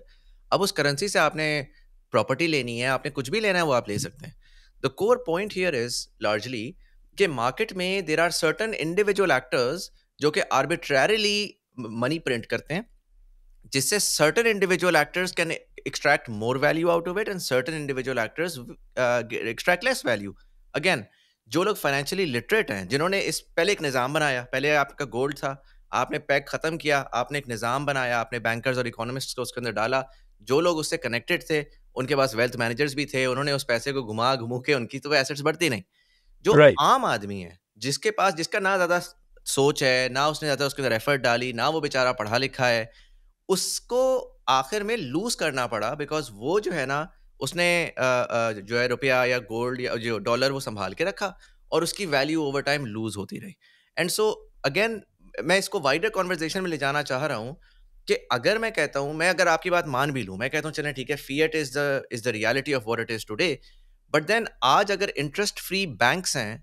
तो how does that allow for Islamic उसकी जो आपने उस, उसमें लेकर आए कि मैंने सौ रुपया दिया और साल बाद मुझे कम वैल्यू उसकी रिटर्न हुई राइट right? मैंने तो उसको कैश ही दिया एट दी या तो मैं उसको कैश से गोल्ड खरीदूं, उसको गोल्ड दूँ और उसे कहूँ, यार गोल्ड मुझे साल बाद वापस कर देना, जितने का भी होगा ये तुम्हारे सर का दर्द है राइट जो कि अगेन एक लॉजिस्टिकल प्रॉब्लम है। So then how do you see how do you reconcile with the other side of it as well अब देखें इस्लामिक बैंक जो है ना, वो लोन्स तो ना लेते हैं, ना देते पहली बात तो ये है वो फाइनेंसिंग करते हैं। और अगर जो इस्लामिक बैंक्स पैसे आपसे लेते हैं तो वो प्रॉफिट शेयरिंग इन्वेस्टमेंट अकाउंट्स की सूरत में लेते हैं। अब इस्लाम जो जो कहता है कि आप लोन ना दे लो, अगर आपने देना है तो वो चैरिटी के तौर पे ही है, और इतना दे जितना जितना आप बर्दाश्त कर सकते हो। अगर आपने किसी को पैसे देने हैं तो उससे पूछें। अब मुजम्मल मेरे पास आता है जी कि मुझे एक लाख पाउंड दे दें तो मैं पूछता हूँ जी क्यों? कहते हैं, जी मैंने तो एक फैक्ट्री लगानी है। तो मैं ठीक है जी, आप मुझे दिखा दें, अगर वो फिजिबिलिटी उसकी मेरी समझ में आती है, मैं आपको पैसे देता हूँ, और आप जो प्रॉफिट कमाएँगे, उसमें से मेरा भी हिस्सा होगा। इस्लाम इस चीज़ को बहुत ही ज़्यादा रेकमेंड करता है। और अगर लॉस हो जाएगा तो उसमें भी फिर जो है ना, वो जितनी आपकी किस्मत, मेरी भी किस्मत होगी। तो ये प्रॉफिट शेयरिंग का जो एक निज़ाम है, उसके तहत ये जितना भी प्रॉफिट होगा, वो दोनों पार्टीज़ उस, उससे फ़ायदा उठाएँगी या नुकसान होगा, वो उतना ज़्यादा उनका एक्सपोजर होगा। लोन्स जो है ना, वो देखें, जो ये लोग कहते हैं ना जी कि जी इन्फ्लेशन की वजह से मेरे लोन की वैल्यू कम हो गई। जो मैंने लेंड की हुई है पैसा, वो कम हो गई। तो ये ये बात जो है वो ये बड़ी लिमिटेड सी है। अगर वो लोन देने की वजह से आपकी वैल्यू कम होती है तो आप वो जो पैसे यहाँ घर में रख के देख लीजिए। अगर वो आ, एक अगर ट्वेंटी परसेंट इन्फ्लेशन है आपने घर में रखे हुए किसी को लोन नहीं दिए हुए हम्म। तो फिर भी आपकी ट्वेंटी परसेंट उसमें डिक्रीज हो जाएगी। नहीं लेकिन अगर मैं जाता हूँ जब गाड़ी ले लूँ तो मुझे तो गाड़ी डायरेक्ट मिल रही है ना। अगर मैं उसको लोन करता हूँ तो मेरी ट्वेंटी परसेंट गिरती है। तो मैंने तो उस कैश की वैल्यू लूज तो हुई अगर मैंने लोन कर दिया उसको। आप वो जो है ना कैश अगर जो है ना आप अपने घर में रखेंगे या cash in the form of loan देंगे ठीक है उसकी वैल्यू जो है ना वो डिक्रीज होगी। राइट तो चूँकि जो है ना वो inflation is a macro phenomenon ठीक? अब वो उसकी वजह से डिक्रीज हो रही है। आप बोरोवर को पिनलाइज क्यों कर रहे हैं इस पे? कि जी मैंने आपको दिए थे। हम्म। अब आपने जो है ना इसकी वैल्यू वो कहता है जी मैंने तो इसकी वैल्यू डिप्रिशिएट नहीं की। This is a macro phenomenon मेरे ना आपके हाथ में है ना मेरे हाथ में है। आप मुझे पीनलाइज इस पर नहीं कर सकते। इस्लाम का ये स्टैंड है कि एक बंदा जिसने वो कॉज ही नहीं बना उस चीज़ की आप उसको पीनलाइज क्यों करेंगे? हाँ अगर आप समझते हैं कि जी I should not be lending that money to someone else rather I should be consuming it तो ठीक है, ये आपका डिसीज़न है। आप कहते हैं, मैं कंजम्पशन नहीं करना चाहता I want to invest it in a more productive asset इस्लाम को, आपको कहते हैं, आप ज़रूर करें। अगर आपको लैंडिंग करने की वजह से नुकसान हो रहा है, इस्लाम आपको कभी भी जो है ना, वो आपका बाजू नहीं बरोड़ेगा और कहेगा, जी कि आप लैंडिंग ज़रूर करें? Islam is a very rational religion. वो आपको ये भी नहीं कहेगा कि आप चैरिटी करें। ना करो भाई। ठीक? चैरिटी तो जो है ना वो आपने अपनी एक सेटिस्फेक्शन के लिए करनी है। Charity is not compulsory thing beyond seven वो जो जक़ात का और हमारा जो है ना उसके अलावा तो जो है ना वो सदक़ात आपके ऊपर जो है ना वो आपके ऊपर है आप देना चाहते हैं या ना दे। तो रिपा जो है ना this is basically a quantitative concept it's not qualitative कि जब बंदा ये कहता है, जी, मैंने जब दिए थे तो इस एक पाउंड की वैल्यू तो ये थी। अब जब आप वापस कर रहे हैं तो इसकी वैल्यू जो है ना, वो कम हो गई है बिकॉज़ ऑफ़ इन्फ्लेशन और सम अदर फैक्टर्स तो ये वैल्यू क्वालिटी क्वालिटेटिव एस्पेक्ट को रिबा जो है ना एड्रेस नहीं करता। There are certain concept in economics as well as in Shariah as well they are nominal concept they are quantitative concept and Riba is one of them इस पे value की बात नहीं चलती जो है। And this is very fundamental principle of Islamic theory of value यदि इसमें क्वांटिटी चलेगी जो है ना ये हम इस पे क्वालिटी पे नहीं लेके आएँगे। तो जो, जो अगर आप समझते हैं कि because of inflation because of any other macro economic phenomenon your value of money is deteriorating do not lend actually आपको तो उस सूरत में अपने पैसे बैंक में भी नहीं रखने चाहिए। हम्म। आप ऐसे प्रोडक्टिव एसेट्स में उनको लगाएँ जिससे आपकी वैल्यू जो है ना वो मेंटेन करें। अच्छा मुझे इसमें ये बताएँ फिर कि जो करंटली जो सिस्टम है लेट्स से पाकिस्तान का जिसमें आपका एक इंटरेस्ट रेट बताता है स्टेट बैंक आपका जो है वो banks conventional bank savings rates देते हैं वो सारा कुछ देते हैं। ये इस अगर मैं दो सवाल है। पहला ये कि would you consider this Islamic and if you consider this as not Islamic हमारे यहाँ बड़ी दफ़ा होता है कि जी हमारे उलेमा आते हैं वो कहते हैं कि यार ये तो सूद तो गैर शरई है। um, तो इसको ख़त्म करना चाहिए और हमें इस्लामिक फाइनेंस की तरफ़ जाना चाहिए। तो फिर व्हाट इज़ दी ऑल्टरनेट कि क्या हम फिर ज़ीरो परसेंट इंटरेस्ट रेट के ऊपर इनडेफिनेटली बस चलते रहें और स्टेट बैंक का कोई इंटरेस्ट रेट का कॉन्सेप्ट नहीं होना चाहिए है? uh, या how would you reimagine it या आपको लगता है कि मॉडर्न डे की जो इकोनॉमिक सिस्टम्स हैं उस पर आप री इमेजिन कर ही नहीं सकते? देखें रिटर्न जो है ना रिटर्न को to earn the return this is actually something very human हर बंदा चाहेगा जी मुझे, मैंने अगर कोई एसेट खरीदा है, उसके ऊपर रिटर्न है अब अगर गवर्नमेंट्स और central banks irrespective whether this is a conventional interest based system or islamic system, उसमें एक, वो रेफरेंस रेट जो है, वो आपको बताते हैं मार्केट के अंदर। बेस रेट कह लें उसे। कि जी ये है इसके इर्द गिर्द आप अपनी प्रोडक्ट्स को बना लें। इस्लामिक बैंक्स उसमें अगर उसको बेंचमार्क के तौर पे यूज़ करके अपनी प्रोडक्ट्स की प्राइसिंग कर लेते हैं तो इसमें कोई हरज नहीं है। क्योंकि वो जो चीज़ वो कर रहे हैं ना जो चीज़ वो आ, उस जिसकी ट्रेड कर रहे हैं एक्सचेंज कर रहे हैं वो तो फंडामेंटली शरिया कंप्लाइंट ही है ना। जब भी हम कोई ट्रांजैक्शन करते हैं तो उसमें दो चीज़ें होती एक होती है कि जी, जो चीज़ आप एक्सचेंज कर रहे हैं, ये पेन एक्सचेंज कर रहे हैं, ये। है जो चीज़ आप एक्सचेंज कर रहे होते हैं ना, उसका शरिया कंप्लाइंट होना बहुत ज़रूरी है। अब मैं ये पेन आपको बेच भी सकता हूँ और आपको गिफ्ट भी कर सकता हूँ फ्रॉम शरिया व्यू पॉइंट अगर जो है ना, ये मेरे पास एक वाइन की बॉटल हो because the asset itself is not Shariah compliant ना तो मैं आपको बेच सकता हूँ, ना मैं आपको हिबा कर सकता हूँ। अब दूसरी चीज़ होती है प्राइस जो आप लेते हैं। प्राइस तो जो है ना वो किसी किसी करेंसी की सूरत में होती है ना मनी की सूरत में होती है। अब वो जो भी हो, वो पाउंड्स में हो डॉलर्स में हो, या जो है ना आप किसी चीज़ से रेफरेंस के साथ कहें। आज अगर मैं एक दुकान चलाना चाहता हूँ and I am actually not selling alcoholic beverages मैं कोक पेप्सी अब इनका भी नाम नहीं लेना चाहिए, हम सॉफ्ट बेवरेजेस जो हैं, वो मैं अगर बेच रहा हूँ और मैं ये समझता हूँ कि मेरा, मेरी प्रॉफिटेबिलिटी जो है, ये ऑफ़ लाइसेंस जो है ना, उसके कोई बराबर शराबर हो और मैं कहता हूँ, मैं अपनी कोक और जितनी जो भी सॉफ्ट बेवरेजेस हैं, उनको प्राइस ऐसे करूँगा कि वो मेरा प्रॉफिट जो है, ये मेरे साथ वाला जो ऑफ़ लाइसेंस वाला है, उसके इक्विवेलेंट हो। This is okay in other words अगर मैं ये आपको कहता हूँ कि I am going to sell my one can of Coke for the price of one pint of Heineken this is okay from Shariah view point मैं कौन सा हाइनिकन बेच रहा हूँ ना? मैं तो कहता three point four five pound this is the price of a can of Heineken तो वो 3.45 पाउंड जो है ना वो आप मुझे दे रहे हैं ना? हाइनेकन तो नहीं दे रहे। इसी तरह जब एक इस्लामिक बैंक जो है वो आपको आ, कार लीजिंग कर रहे हैं। आपको कार दे रहे हैं ना? और उसकी प्राइसिंग ऐसे करता है अपनी फाइनेंसिंग वेदर जी काईबोर्ड प्लस समथिंग ये जो है ना, इसके ऊपर जो है ना वो मैं करूँगा। तो आप, आपसे वो रुपए ले रहे हैं। This is okay from Shariah view point तो ये जो जो बेंच मार्किंग को लोग कंफ्यूज करते हैं कि जी आप इंटरेस्ट ले रहे हैं इंटरेस्ट तो नहीं ले रहे। हम तो आपके कहने मार्केट के अंदर अगर मीज़ान बैंक है मीज़ान बैंक ने बहुत ज़्यादा कंसिड्रेशन है ना। अब मीज़ान बैंक चाहता है कि जी मेरी प्रॉफिटेबिलिटी जो है, वो मेरे कंपेटिटिव बैंक्स के इक्विवेलेंट हो। वो क्यों चाहेगा?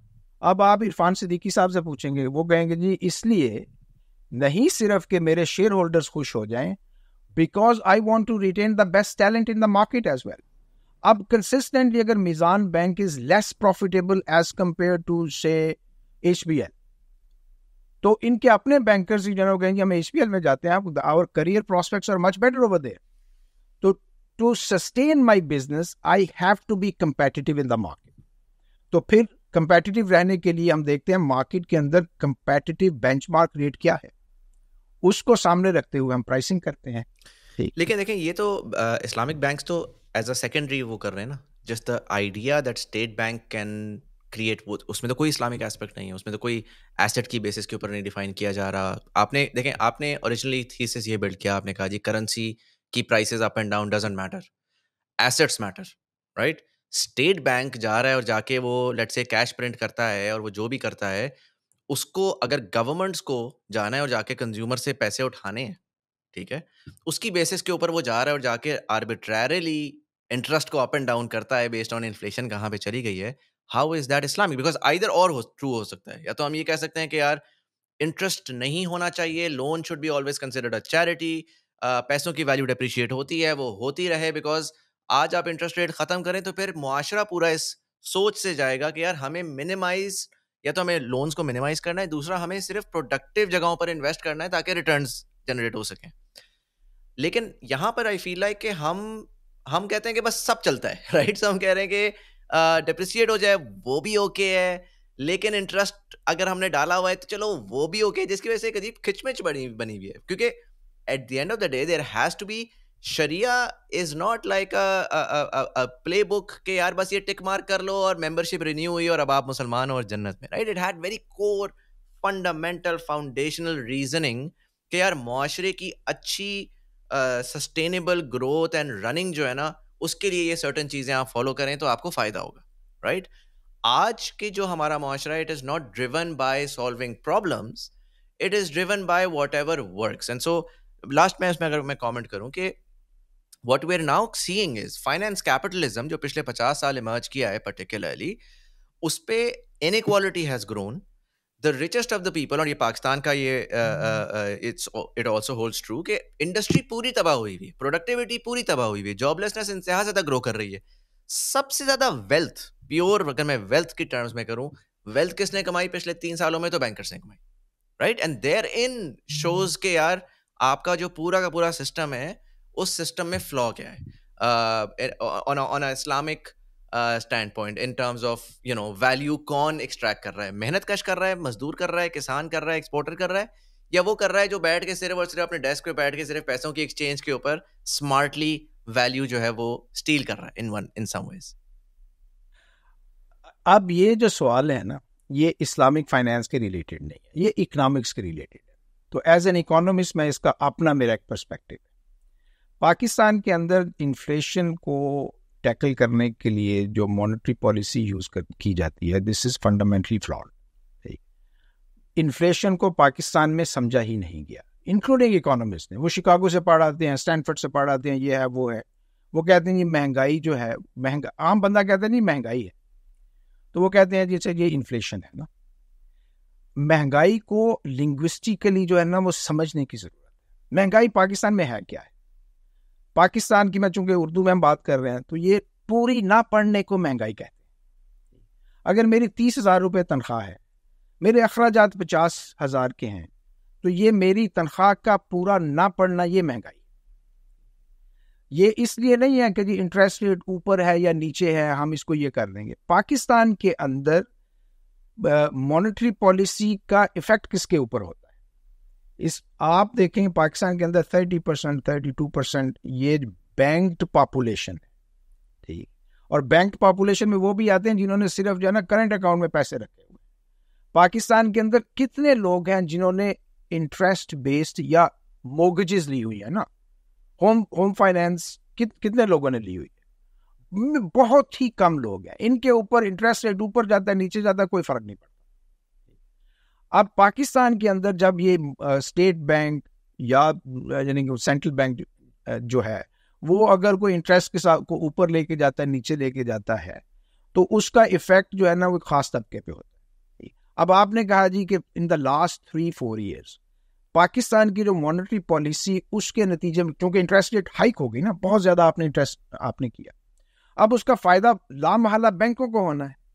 बैंक्स पाकिस्तान के अंदर जो बैंक्स की ब्रांचेस हैं, मैं उनको कलेक्शन बॉक्सेस कहता हूँ।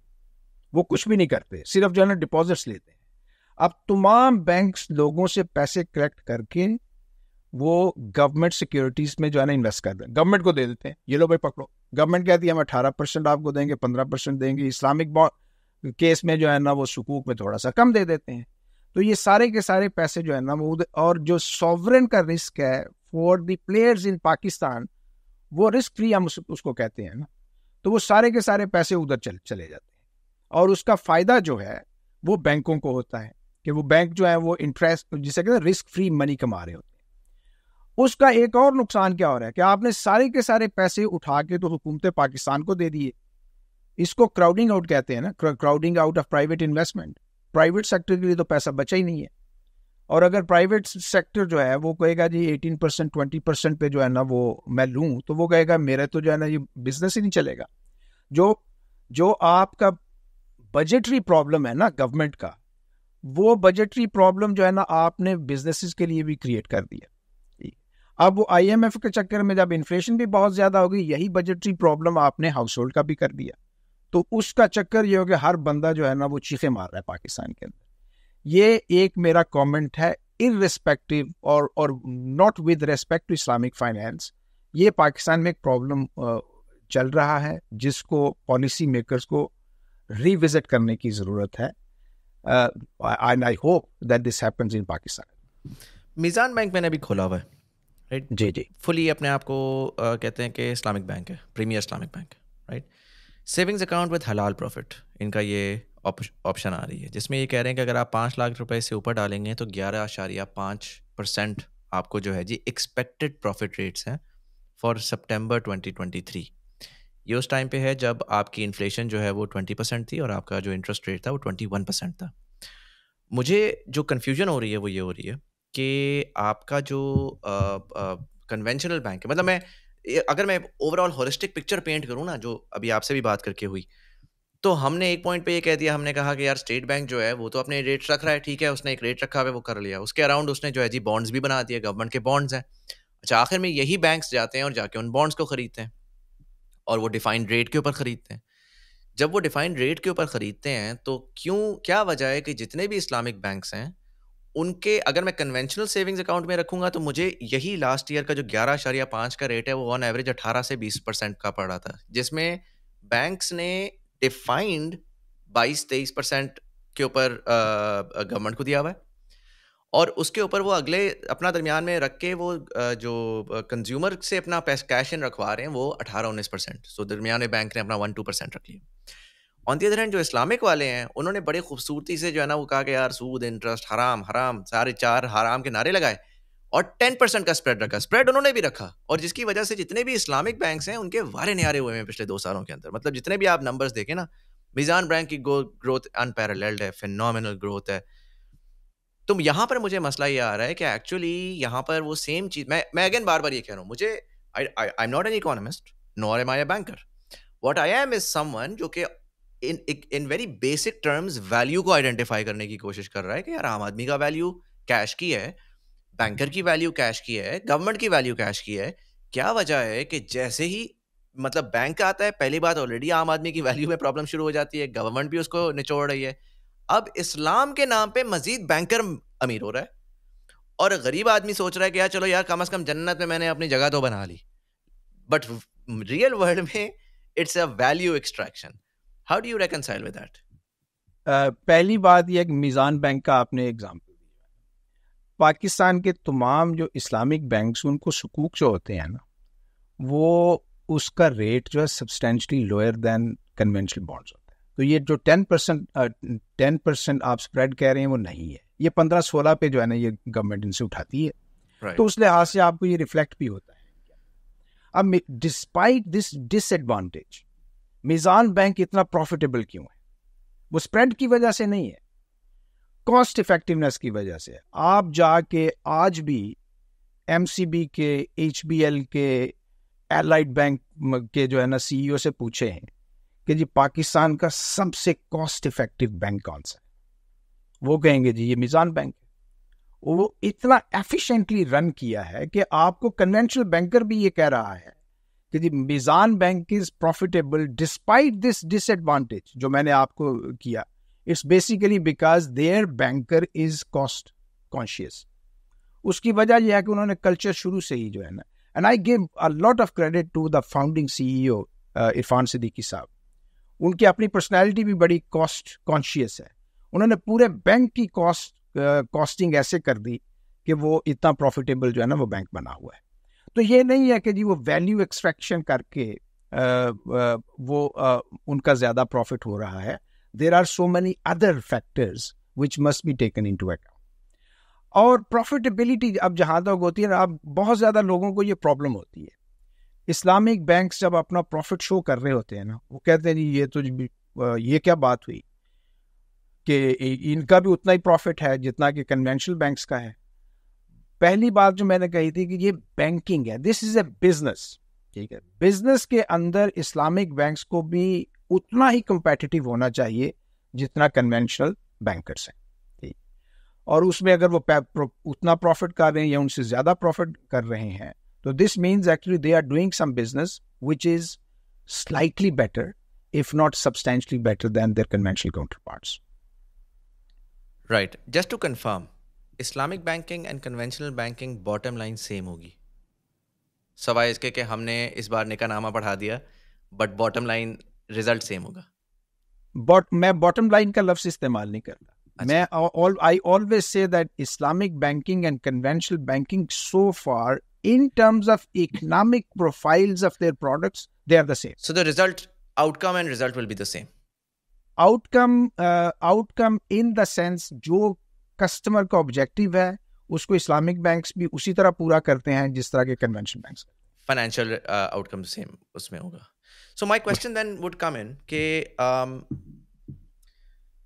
वुड यू से कि मॉडर्न डे में जो हमने देखा है कि जो ये डेट बेस्ड सिस्टम आया है particularly generally debt based system आया आपका मॉडर्न uh, बैंकिंग जब इमर्ज की पिछले सौ सालों के अंदर और उसके पर्टिकुलरली uh, जब गोल्ड पैग आपने रिमूव किया और आप फ्रैक्शनल रिज़र्व सिस्टम में आए उसके बाद से तो we seen unparalleled growth all across the world right so anecdotal evidence will suggest कि यार clearly the the standard just अभी हम इस्लामिक नॉन इस्लामिक की बात नहीं कर रहे but just banking itself जो है वो it seems like it is it's an incredible invention that has given us so much returns on uh, uh, you know in terms of growth in terms of a better standard of living so on and so forth and so would you then argue because there are people uh, uh, LUMS के एक बड़े मशहूर professor हैं जो कि you no socialist हैं और वो ये कहते हैं उनकी एक पूरी सीरीज़ है इसके ऊपर कि जी इस्लामिक फाइनेंस जो है, वो तो एक रिडंडेंट चौदह सौ साल पुराना, पुरानी एक यू नो दो चार आइटम्स मिला करके उन्होंने कह दिया कि जी, एक इस्लामिक फाइनेंस कोई चीज़ होती है। तो उसकी बेसिस के ऊपर there is no such thing as Islamic economics वो एक रिडंडेंट चीज़ है, वो पुरानी हो चुकी है। अब तो मॉडर्न डे में हमने इंस्ट्रूमेंट्स इतने आगे निकाल लिए हैं। कि ये तो उस तरह से वो बाल की खाल उतारने वाली बात है कि हम बैठ के अब कैमरों के ऊपर डिस्कशंस करें कि यार इस्लामिक है नहीं इस्लामिक है तो हम कोई और चीज़ें अब आगे जा चुकी हैं। यू नो कोर तो कोर है अब तो you know things have advanced quite lot and so would you then argue कि हमें फिर अगर बॉटम लाइन भी सेम है अगर एनेक्डोटली हमें नज़र आया कि जी डेवलपमेंट भी कन्वेंशनल बैंकिंग की ज़्यादा है तो बस ये सोल को खुश करने के लिए है कि चलो यार ठीक है मैं अपने यू you नो know, जिससे मेरी पर्सनल कनेक्टिविटी है मैं इस्लाम या मुसलमान के नाम या यू नो अरबी का कोई वर्ड लगा हुआ है सकूक है ये है वो है तो मैं उससे करूँ तो चलो सुकून है मुझे personally why do we even need Islamic banking in that context if it's not creating a bottom line change in the way that the financial system or the economic system or the political system works? देखिए Islamic banking जो है ना वो it is in search of an Islamic identity and it's substantiating Islamic identity of individuals जो ये कर रहे हैं। ये आइडेंटिटी वाली बात है अगर हम ये कहें कि जी एक इस्लामिक इंस्टीट्यूशन या इस्लामिक प्रोडक्ट वो उतना ही अच्छा है या उतना ही बुरा है जितना कन्वेंशनल है तो फिर इस्लामिक की क्या ज़रूरत यही है ना? हम ये कहते हैं जी कि जी हुमायूं डार, जॉन स्मिथ जितना ही अच्छा है या बुरा है, इसको इस्लाम की क्या ज़रूरत है? तो this is actually an identity अब आइडेंटिटी जो है ना on a global level whether this is religious identity ethnic identity linguistic identity and so on this is one of the fundamental human rights as recognized by United Nations and other multilaterals. तो जो मुसलमान ये कहते हैं जी कि हमने जो बिज़नेस है, वो विद रेफरेंस टू इस्लाम करना है। क्योंकि हमारी ये आइडेंटिटी है। और इस आइडेंटिटी से उनको हैप्पीनेस मिलती है सेटिस्फेक्शन मिलती है। और उसका प्रॉब्लम जो है, वो नॉन इस्लामिक चीज़ को होता ही नहीं है। तो ये तो एक ऐसी चीज़ है जिसके बारे में लिबरल्स को एग्नोस्टिक होना चाहिए। तो यार ये तो हमारे लिए है ही नहीं, हमारे जैसे ही है ना। तो इस लिहाज से ये कहना कि चूँकि ये कन्वेंशनल ही की तरह है, इसकी ज़रूरत नहीं है this is not a valid argument अगर हम यही इसको पलटा दें कि अगर इस्लामिक एंड कन्वेंशनल दोनों बराबर हैं तो फिर कन्वेंशनल की क्या ज़रूरत है? एक ही हो जाए ना? और जा दोनों एक ही रहे हैं। इस्लामिक बैंकिंग एंड फाइनेंस की ब्यूटी ये है कि this is a contemporary phenomenon has for the first time in modern history created uh, an avenue for integration of Islam with the wider world. अब जब आपको मेरिल लिंच जब आपको BNP परिबा जब आपको क्रेडिट एग्रीकोल ये जो बैंकर्स हैं वो कहते हैं कि हम इस्लामिक बैंकिंग एंड फाइनेंस करने को तैयार हैं और हम कर भी रहे हैं। तो व्हाट डज दिस मीन और और और जो बड़े बड़े शरिया स्कॉलर्स हैं वो भी उनके साथ जाके अपने शोल्डर्स रब कर रहे हैं। This means actually this system is creating a harmony in the world ये कोई फ्रिक्शन वाला नहीं है। इस्लामिस्ट ने पॉलिटिकल एक मूवमेंट जो है ना वो शुरू की उससे इतनी फ्रिक्शन पैदा हुई कि वेस्ट भी जो है ना वो नर्वस हो गया और मुसलमान हुकूमतें जो हैं, उन, वहाँ भी बहुत ज़्यादा nervousness pi. This is for the first time in the modern history का एक ऐसा फिनोमिन आया है कि over the last fifty sixty years इसने सबको एटीज कर दिया है। इस्लामी हुकूमतें भी ये कह रही हैं कि यार ये बंदे तो ठीक ही हैं, हमारे लिए कोई इनका कोई थ्रेट नहीं है। वेस्टर्न इंस्टीट्यूशंस कहते हैं we can do business with them और जो मुसलमान जो हैं उन्होंने पहली दफ़ा ये सोचना शुरू कर दिया है कि actually I can practice my religion not only in the mosque but in the market as well तो ये जो चीज़ है this is a huge contribution of Islamic banking and finance to Islamic civilization इस कॉन्टेक्स्ट में जब देखा जाए तो इसकी एक बहुत बड़ी वैल्यू है। एक तो ये बात। दूसरी बात यह है कि इस, और ये ये जो रेफरेंसेज डिफरेंट है। हम जो है ना बहुत ज़्यादा कहते हैं जी कि इतने से हैं यहूदी दुनिया में। लेकिन उन्होंने पूरी दुनिया को कंट्रोल करके रखा हुआ अब अगर मुसलमान जो है, अपने फाइनेंशियल एंड मॉनेटरी अफेयर्स को किसी एक रेफरेंस पे, इस्लाम के रेफरेंस पे लेके जाके जो है ना वो करना शुरू कर देते हैं। This means they would have better control on their money they would have better control on their resources आज हम देखते हैं कि जी मुसलमान मुल्कों के अंदर इस्लामिक फाइनेंशियल सेंटर्स बने हुए आप दुबई में बैठे हुए हैं डीआईएफसी के अंदर इस्लामिक फाइनेंस का एक जो है ना बहुत बड़ा कंपोनेंट तो मुसलमानों ने, मुसलमानों की वेल्थ मैनेजमेंट जो लोकलाइज होना शुरू हो गई है। अब आपको रियाद में जो है ना एसेट मैनेजर्स मिल रहे हैं, जो मुसलमानों की मनी को मैनेज कर रहे हैं। आज आपको क्वालमपुर में इस्लामिक वेल्थ मैनेजर्स मिल रहे हैं, जो कि आउटफ्लो जो है ना उसको रोक रहे हैं। आज देखें कि वेस्टर्न फंड मैनेजर्स जो पहले ब्रीफ केसेस में आते थे जीसीसी में आज वो आके जो है ना उनको आ, कहा जा रहा है कि आप अपनी शॉप्स जो है ना रियाद में खोलें आप दुबई में खोलें आप दोहा में खोलें आप कुआलालंपुर में खोलें तो आप अपनी मॉनेटरी मैनेजमेंट जो है उसको लोकलाइज करके बेटर कंट्रोल जो है ना वो कर रहे हैं एंड इन ड्यू टाइम इसके बेनिफिट्स मुसलमानों को नज़र आना शुरू हो जाएँगे। Dependence financial dependence on the west because of Islamic banking and finance वो definitely diminish in the decades to come right doctor Asad Zaman का कहना है कि जो सेवेंटीज़ के अंदर there was actually a real movement जिसमें पीपल एक्चुअली केयर्ड अबाउट के यार इस्लाम की कोर फंडामेंटल्स क्या हैं और उसकी वजह से वो रिबेलियस हुए और उन्होंने जिसको आपने कहा कि यू नो पोलिटिकल इस्लाम वाले आए और पैन इस्लामिक वो था एंड देन ही सेड कि यू नो जनरेशन एक फ़ेज़ टू जनरेशन आई जिन्होंने जो डिफीटिस्ट थे if I may say so myself essentially the caricature that he is of you essentially who's saying okay yaar, listen uh, there is a system it has worked now how do we wrap islam around that system because this just creates harmony so it's like it's like you know um आपके पास एक uh, uh, uh, ऐसी society है civilization है that has clearly shown that it has been able to develop itself and has been superior in the last 100 years. And so, उस superiority को आप accept करते हैं और आप कहते हैं कि चलो, हम आके तुमसे सीख लेते हैं। तुमने अपनी सुपेरियोरिटी किस तरीके से बिल्ड की और उसको मैं यूज़ करके मैं भी उसका पार्टिसिपेंट बन जाता हूँ। The counter argument to that would be as a devil's advocate अगर मैं उसको प्ले करूँ।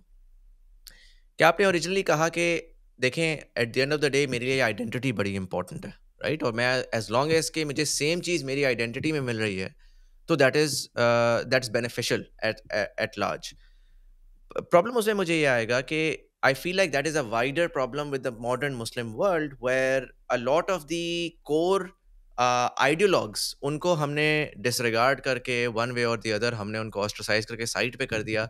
सो मॉडर्न इस्लाम पाकिस्तान जहाँ से मैंने तीस साल गुजारे उस मुल्क के अंदर अभी भी ये मसला है कि in terms of all Islamic values वहाँ पे मुसलमान बहुत सारे हैं इस्लाम नहीं मिलता वो बड़ा एक मशहूर डायलॉग भी है राइट जिसमें हर किसी की आइडेंटिटी तो पूरी है लेकिन value system belief system understanding of what the social political economic framework of what islam was all about in terms of as as as a peace building unifying force of a society वो आपको unfortunately नहीं मिलता। And increasingly वो आप Muslim countries by and large में जाएँ वहाँ पे आपको उस तरह के मसाइल बहुत सारे नज़र आते हैं।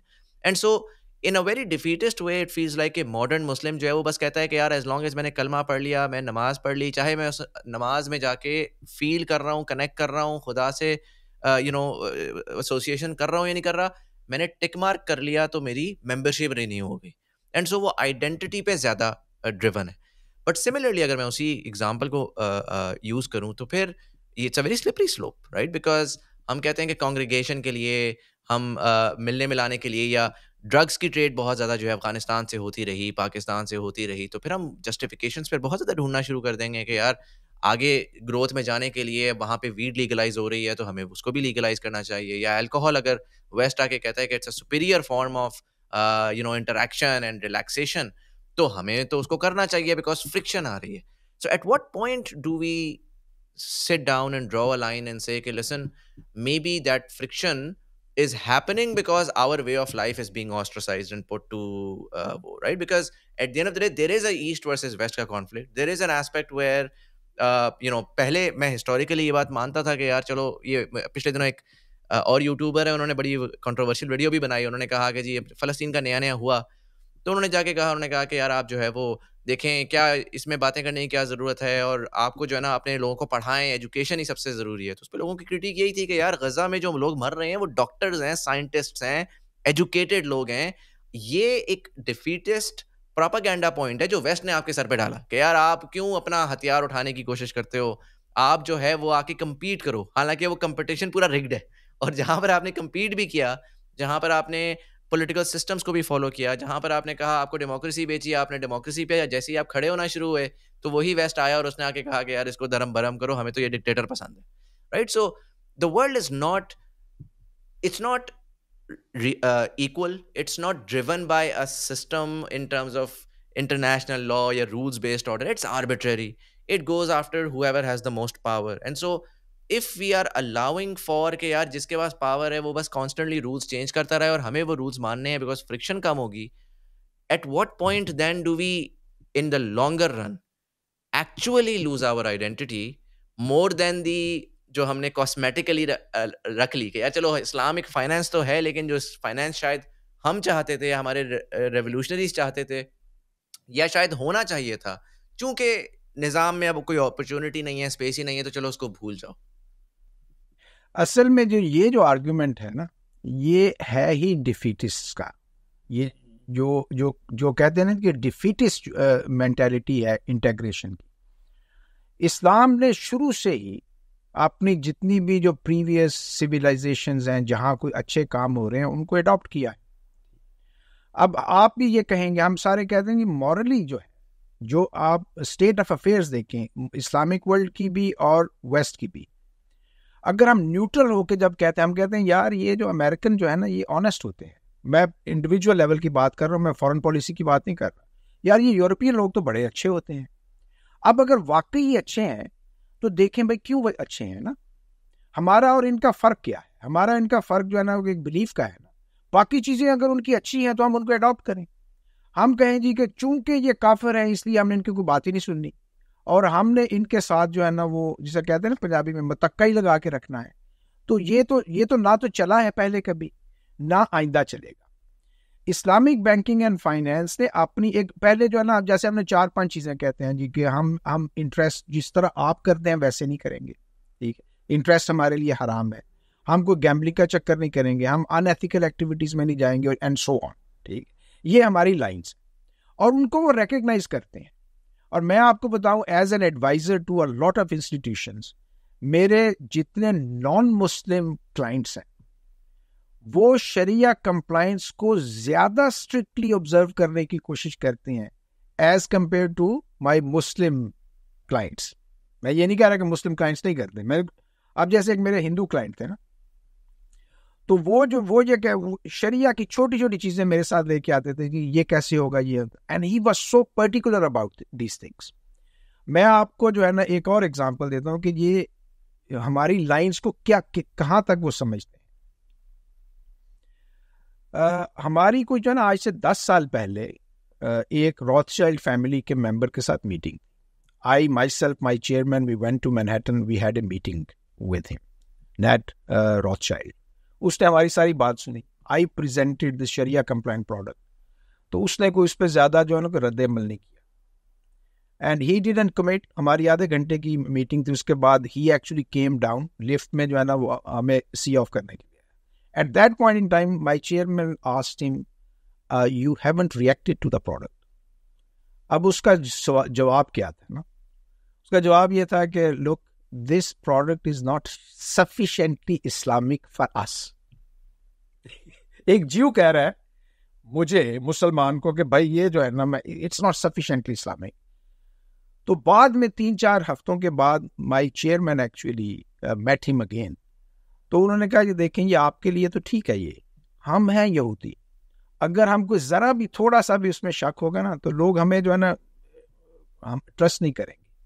So this is what even the Jews, Christians, other uh, members of the uh, they become particular about Sharia consciousness. तो ये नहीं है कि हम जो हैं वो जो कुछ वो कर रहे हैं हम लंगूरों की तरह उनकी बात मानते हैं। वो हम हमें भी तो अकोमोडेट कर रहे हैं।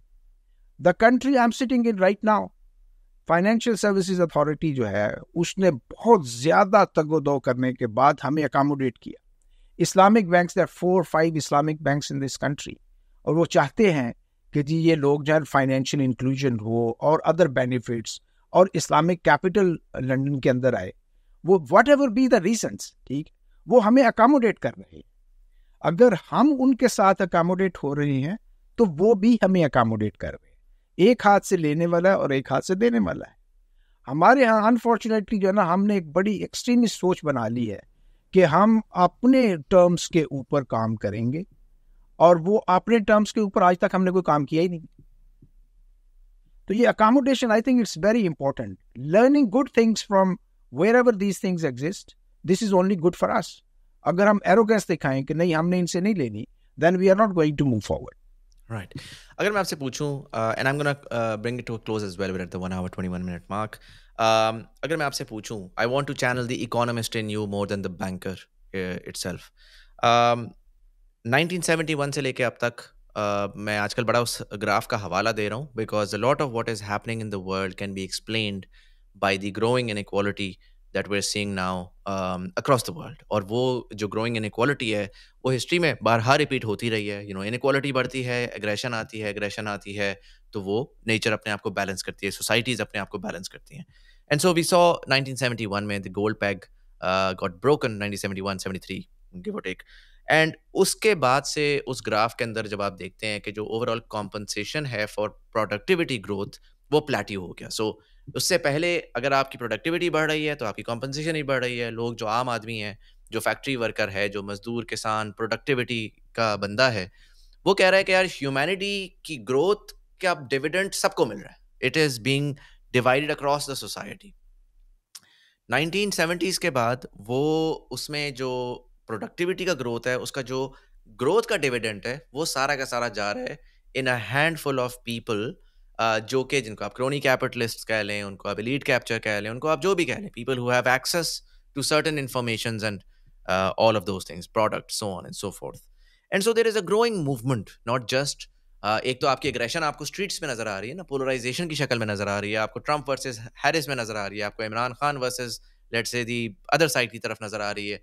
बट मोर मोर सो आपको एक growing community within the financial system नज़र आ रही है, जो 2008 के बाद असेंशली खुली, जिसमें बिटकॉइन आया, जिसमें आपकी ब्लॉकचेन आई, जिसमें आपका वो पूरा का पूरा कॉन्सेप्ट आया, जिसका वाइट पेपर ही ये कहता है कि जी, जो डेमोक्रेटाइजेशन ऑफ़ फाइनेंस है that is the next step towards humanity's evolution and the division of value across society in a more equitable way.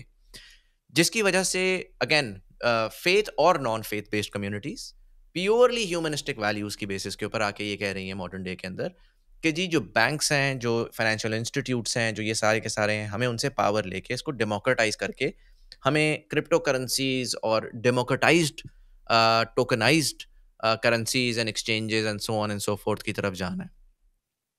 And so, in that context, knowing the real world problems that the financial system has created, right? Anecdotally, आप ये ज़रूर कह सकते हैं कि आपका career hopefully may be अच्छा रहा हो तो आप एनेक्डोटली कहेंगे system works anecdotally someone else might have had वो हम लेकिन डेटा को जब उठाएँगे तो हमें नज़र आता है कि by and large inequality has risen and by and large the compensation has reduced radically for the vast amount of people all across the world and so उस कॉन्टेक्स्ट के अंदर how do you see the emergence of this new technology क्योंकि again मैं इसमें बस last comment ये करूँगा।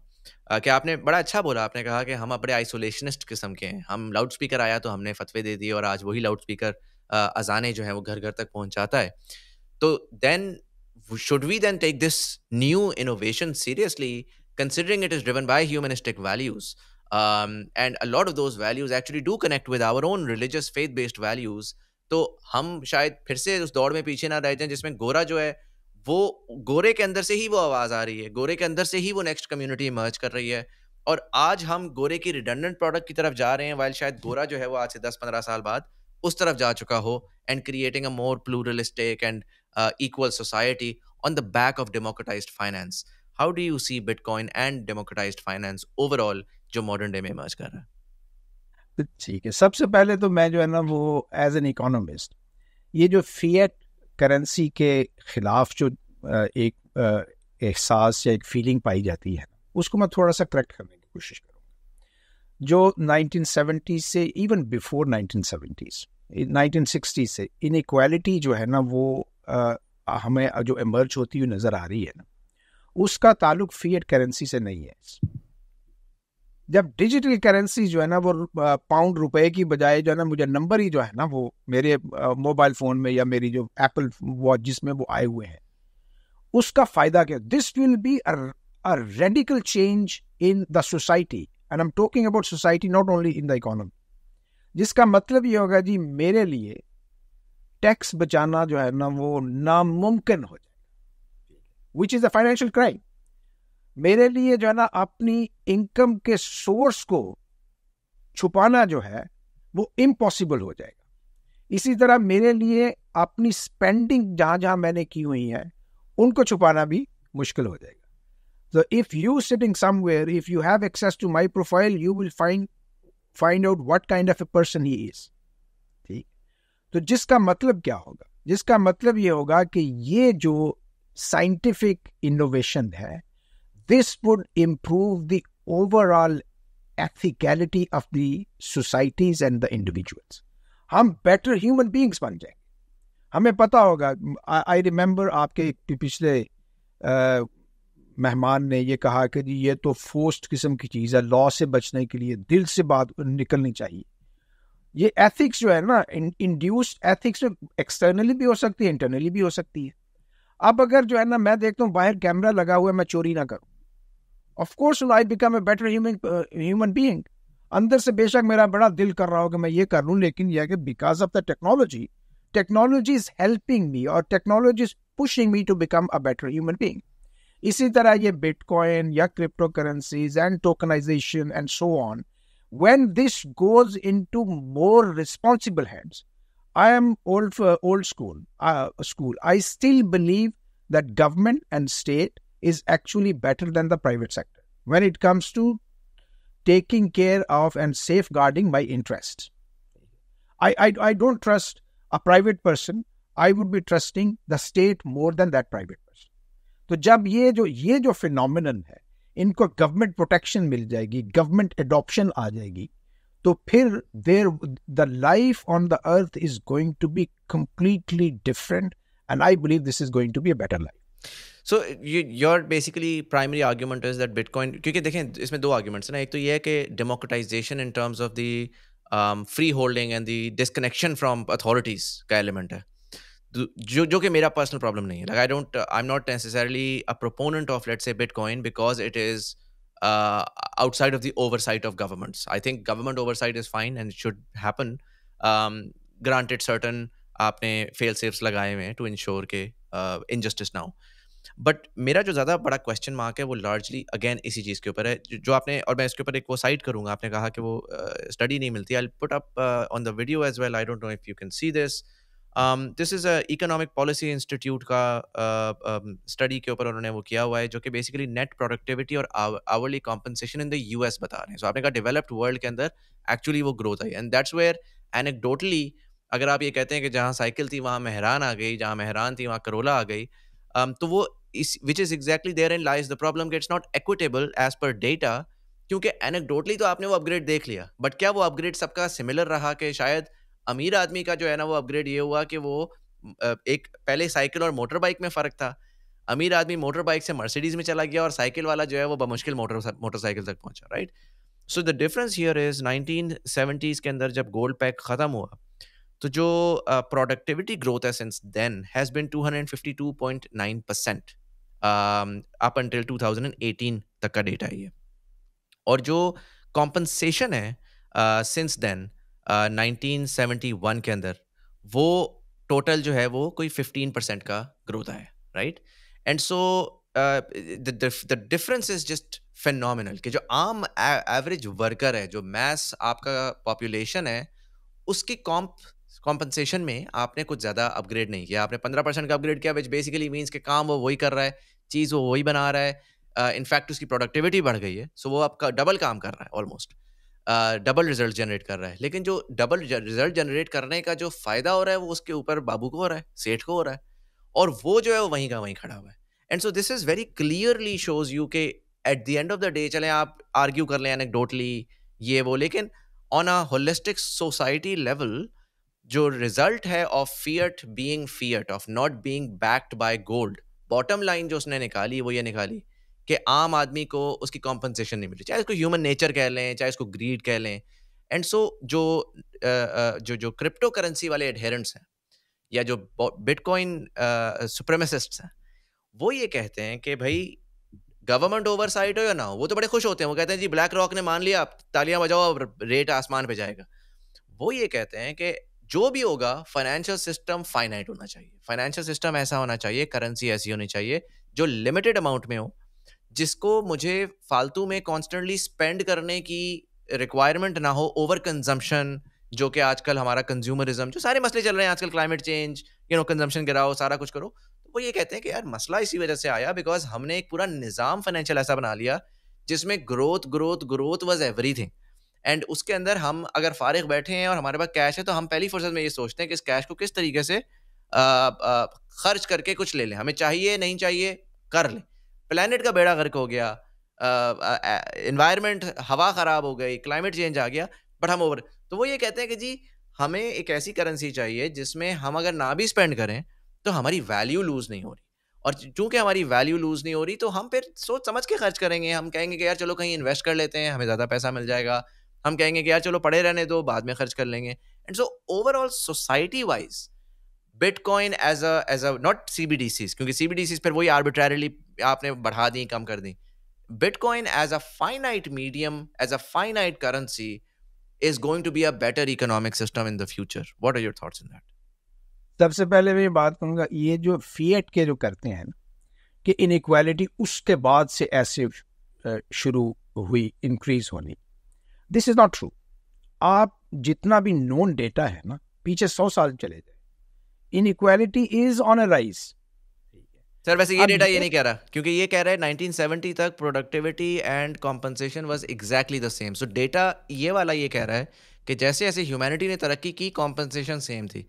तो how do you reconcile with this particular data? That's what, what i'm trying to understand. This is uh, i would have to see that paper लेकिन मैं आपको बता दूँ। इंडस्ट्रियल रेवोल्यूशन इससे पहले आया था। ठीक है। उसमें तो इतनी ज़्यादा इनकम इनक्वालिटीज जो है ना वो हुई कि वो मार्क्सिस्ट जो हैं, जो उन्होंने जो है उसके ऊपर बड़ा शोर मचाया। तो I I I will have to see मेरे ख्याल में जो है ना ये जो ये जो आर्ग्यूमेंट दिया जा रहा है, इसमें फियट करेंसी का इंट्रोडक्शन जो है this is what we call in statistics a spurious variable ये है उधर, वो इंसिडेंटल किस्म की जो है ना वो हो सकती है। कि ये हो। लेकिन ये इसको जो है ना वाइडर कॉन्टेक्स्ट में देखने की ज़रूरत है। फाइनेंशियल सेक्ट देखें जो कैपिटलिस्ट सिस्टम जो है इकोनॉमिक्स एज एन इकोनॉमिस्ट हम देखते हैं जी कि ग्रोथ ओरिएंटेड मॉनिटरिज्म जो है जैसे ग्रोथ ओरिएंटेड ग्रोथ आप कर दें तो उसके साथ ट्रिकल डाउन इफ़ेक्ट होकर सारी चीज़ें ठीक हो जाएँगी। अब सिस्टम ने खुद ही रियलाइज़ किया कि ये चीज़ें नहीं हो रही। इसीलिए जो देखें हमने मिलेनियम डेवलपमेंट गोल्स एम आए। उसके बाद सस्टेनेबल डेवलपमेंट गोल्स आ गए ट्वेंटी थर्टी के बाद कोई उसका जो है ना वो और आएगा तो the realization is already there where capitalism has work and to what extent and where it has failed. And accordingly, the global think tanks, the likes of World Bank, United Nations, and other multilateral institutions and think, think tanks, they are coming up with the, the policy implications of these phenomena. और ये होना चाहिए। Capitalism is not a religion capitalism जो है ना it's an economic system जिस जिसके अंदर इतनी रोबस्टनेस है कि जब भी कहीं कोई प्रॉब्लम आए तो उसको वो क्रैक करने की कोशिश की जाती है। And and this is why we find that there is huge emphasis and awareness of S D Gs sustainable development goals all over the world including in Pakistan I went to university of Sargodha तो मेरे, मैं हैरान रह गया कि university of Sargodha के अंदर जो है ना सेवनटीन सस्टेनेबल डेवलपमेंट गोल्स उन्होंने बड़ी दीवार के ऊपर लगा के रखे हुए तो ये चीज़ें जो हैं, वो विद इन द सिस्टम उनकी रिकग्निशन होती है और उसको करेक्ट करने की कोशिश की जाती है। देखें बिटकॉइन या जो भी ऐसी जो करेंसीज जो हैं I am not against them मैं तो यही कह रहा हूँ कि ये ये चीज़ें जो है this is part of the human development ये प्रोग्रेस का हिस्सा है। Only thing which I am saying is that you know if this is in with a government oversight, this would be something which would give a lot more comfort to a person like me who has more faith in the state as compared to a private phenomenon. Makes sense. Uh, last question is for mera ye hoga do you think if we are reversing the concept of growth um, and we're saying okay the system is no longer working either the planet will die or it's not really sustainable do you think the debt that the western governments have taken particularly in the backdrop of um, you know demographics जहाँ पर उनकी populations बहुत aged होती जा रही हैं and the cost of sustenance for them uh, you know is rising uh, aggressively while creating a polarise like polarised society जिसमें वो इमिग्रेंट्स को भी uh, नहीं आने दे रहे वहाँ पर how do you see financially the the western governments particularly Europe को जिसको हम देखते हैं जहाँ पर ये एक बड़ा प्रॉब्लम uh, होता हुआ जा रहा है वो स्टेगनेंट है उनकी इकोनॉमीज ग्रो नहीं कर पा रही। अनफॉर्चुनेटली uh, एक ज़माने में टॉप हंड्रेड कंपनीज़ में बहुत सारी आती थी अब तो रेयरली ओकेजनली आपको कुछ नज़र आ रहा है। अमेरिका ने कम्प्लीटली डेवस्टेट कर लिया है। You know they they have most of what they वो है अभी यूक्रेन रशिया के बाद तो मजीद जो है वो यूरोप बिल्कुल स्टक हुआ हुआ है। उस कॉन्टेक्स्ट में जब आप कह रहे हैं कि ये रिवर्सल अगर पोटेंशियली आता है, एक ऐसा मॉडल जो बना हुआ एक इन्फिनिट ग्रोथ पे था और आज डेट ले लो, आने वाली जनरेशन ग्रो करके उसको रिटर्न कर देंगे how would you reconcile with that do you think would that would be sustainable in the long run देखिए, ये पहले भी सस्टेनेबल नहीं है। और इसने इसने को इतना नुकसान भी नहीं पहुँचाया। जब हम देखते हैं कि जी डेट जर्मनी का डेट देख लें गवर्नमेंट का डेट जो है, वो भी वो ट्रिलियंस में है। यूएस का भी देख लें, वो भी ट्रिलियंस में है। तो ये ये इतने इतने ह्यूज डेट के बावजूद these economy so far they are better than a number of other economies in the world अब अगर I am not a political economist और मुझे नहीं पता ये क्या होगा। हाउ एवर अगर ये इसको रिकग्नाइज कर लिया जाता है कि ये debt is actually a dead weight loss ये पड़ा हुआ है ना इधर? और इसको अगर ये पड़ा रहे अब देखें इन अमेरिका, अब इतने परसेंट ऑफ़ द जीडीपी वो डेट पड़ा हुआ है। लेकिन इसके बावजूद सोसाइटी चल रही है। And if there is a global kind of consensus कि इसको हम जो है ना ख़त्म ही कर दें जितना ग्लोबल जुबली ऑफ़ डेट हो जाए तो फिर भी चीज़ें चलती रहेंगी। तो I think probably in future some time, I don't know when ये ये करेक्शन ग्लोबल लेवल पे होगी। Specially hmm. जब हम ये देखते हैं कि I am living I am sitting in the west I live in the west west जो है ना वो अब आप जो कहते हैं ग्रोथ रेट उनका जो है ना वो टू परसेंट है ये। उसकी क्योंकि वो इस लेवल पे पहुँच गया ना। और on the other hand side we see some emerging markets वो seven percent eight percent nine percent ten percent growth rate है क्योंकि वो जो है ना उनकी बेस जो है ना वो छोटी है। हम्म। लेकिन वो भी आखिर जाके उसमें भी फ्लैटनिंग जो है ना वो होगी। जब होगी वो वो वो देखा जाएगा। तो ओवरऑल जब आप जो है ना जिसे आपने कहा जी कि इनक्वालिटी अगर ग्लोबल साउथ नॉर्थ की इनक्वालिटी कम हो जाती है इन एन आइडियल कॉन्टेक्स्ट खत्म हो जाती है then a lot of things okay they will have to be rethought revisited and rethought and probably there would be need to come up with a new global system this would not be just global economic system because everything would be interrelated a new global system would emerge which would be for the benefit of the wider humanity hopefully for all if not for all, but for very large segment of the society. Do you think we're going towards that?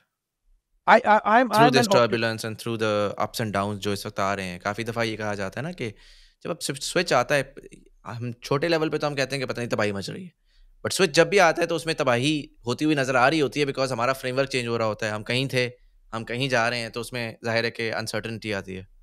देखिए, हम definitely we are moving towards a better life ये ये जो है ना, हमें होना चाहिए। जो छोटी मोटी टर्बुलेंस आती है ना, उसको हम बड़ा ओवर एग्जेजरेट करते हैं। अब जब ग्लोबल फाइनेंशियल क्राइसिस हो वो जी, मर गई है वो। वो ऐसा जो है ना, वो एक एक, डेढ़, दो साल का आया, उसके बाद जो है ना, हमने भूल भाल गए। कोविड नाइन्टीन अब कितना बड़ा जो था ना, अब आप देखेंगे number of economies in the world they have actually gone beyond their pre COVID status जो है, उससे वो निकल गई। ये एक डिस्टर्बेंस आई टर्बुलेंस आई, उसके बाद जो है ना, हम आगे निकल गए। तो ये हमें काफ़ी ज़्यादा प्रॉब्लम्स जो है ना, वो कभी इधर से, कभी उधर से आएँगी। However they should be considered as turbulence temporary turbulence between और on a flight between Dubai and London Makes sense. वही से चलेंगे तो इंशाल्लाह लंदन पहुँची Dr. Humayun, thank you so much for coming in. This was the longest podcast I've done in recent times. Generally, मैं घंटे में मुकाने की कोशिश करता हूँ, बट आपने बड़ा कॉम्प्रिहेंसिवली, बड़ा तहमुल मिजाजी के साथ और ठहराव के साथ हमें सारी चीज़ें एक्सप्लेन किया है thank you so much for your time and you know explaining everything for us thank you very much for the invitation and for all of you guys thank you so much for watching अगर आपको episode पसंद आई और दोस्तों के साथ ज़रूर share करिएगा नीचे कमेंट सेक्शन में मुझे आके बताएँ what are your thoughts on the Islamic financial system आपको मैंने दो different sides of the coin दिखाए हैं। इससे पहले हारिस इरफान साहब के एपिसोड भी आप देख सकते हैं। वो एक बड़े डिफरेंट स्कूल ऑफ़ थॉट से आए थे। यहाँ पर आप डॉक्टर हुमायूं की भी कॉन्वर्जेशन सुन सकते हैं। वो एक बड़े डिफरेंट स्कूल ऑफ़ थॉट से आए हैं। Interestingly both of them worked together Bank. Uh, so it's interesting how the same institution can produce two very different wo. And I think that is the beauty of uh, you know कि जब आप जाते हैं और जाके चीज़ों को समझते हैं और नॉलेज उठाते हैं तो डिफरेंट परसेप्शन होते हैं परस्पेक्टिव्स होते हैं। uh, उस परस्पेक्टिव से ही सबको सुन के ही आप एक अपना माइंड बना सकते हैं तो ज़रूर दोनों को सुनिएगा, दोनों से अगर डिसएग्रीमेंट्स होती हैं तो उसको एकेडमिक वे में जाके you know I would love to read comments down below कि आपको क्या लगता है? अगर आप किसी चीज़ से डिसग्री कर रहे हैं तो क्या उसका रैशनल है? क्या उसकी लॉजिक है? I would like to increase the level of discourse in this extremely polarise world जहाँ पर हर कोई दूसरे पे उंगली उठा के कहता है कि वो ऐसा हो, वो वैसा। आई होप मेरी ऑडियंस जो है, वो ज़्यादा पढ़ी लिखी है और होगी। But anyways This was Sayed Muzamil Hassan Zedi. You are watching Thought Behind Things. Thank you so much for watching, and I'll see you in the next one.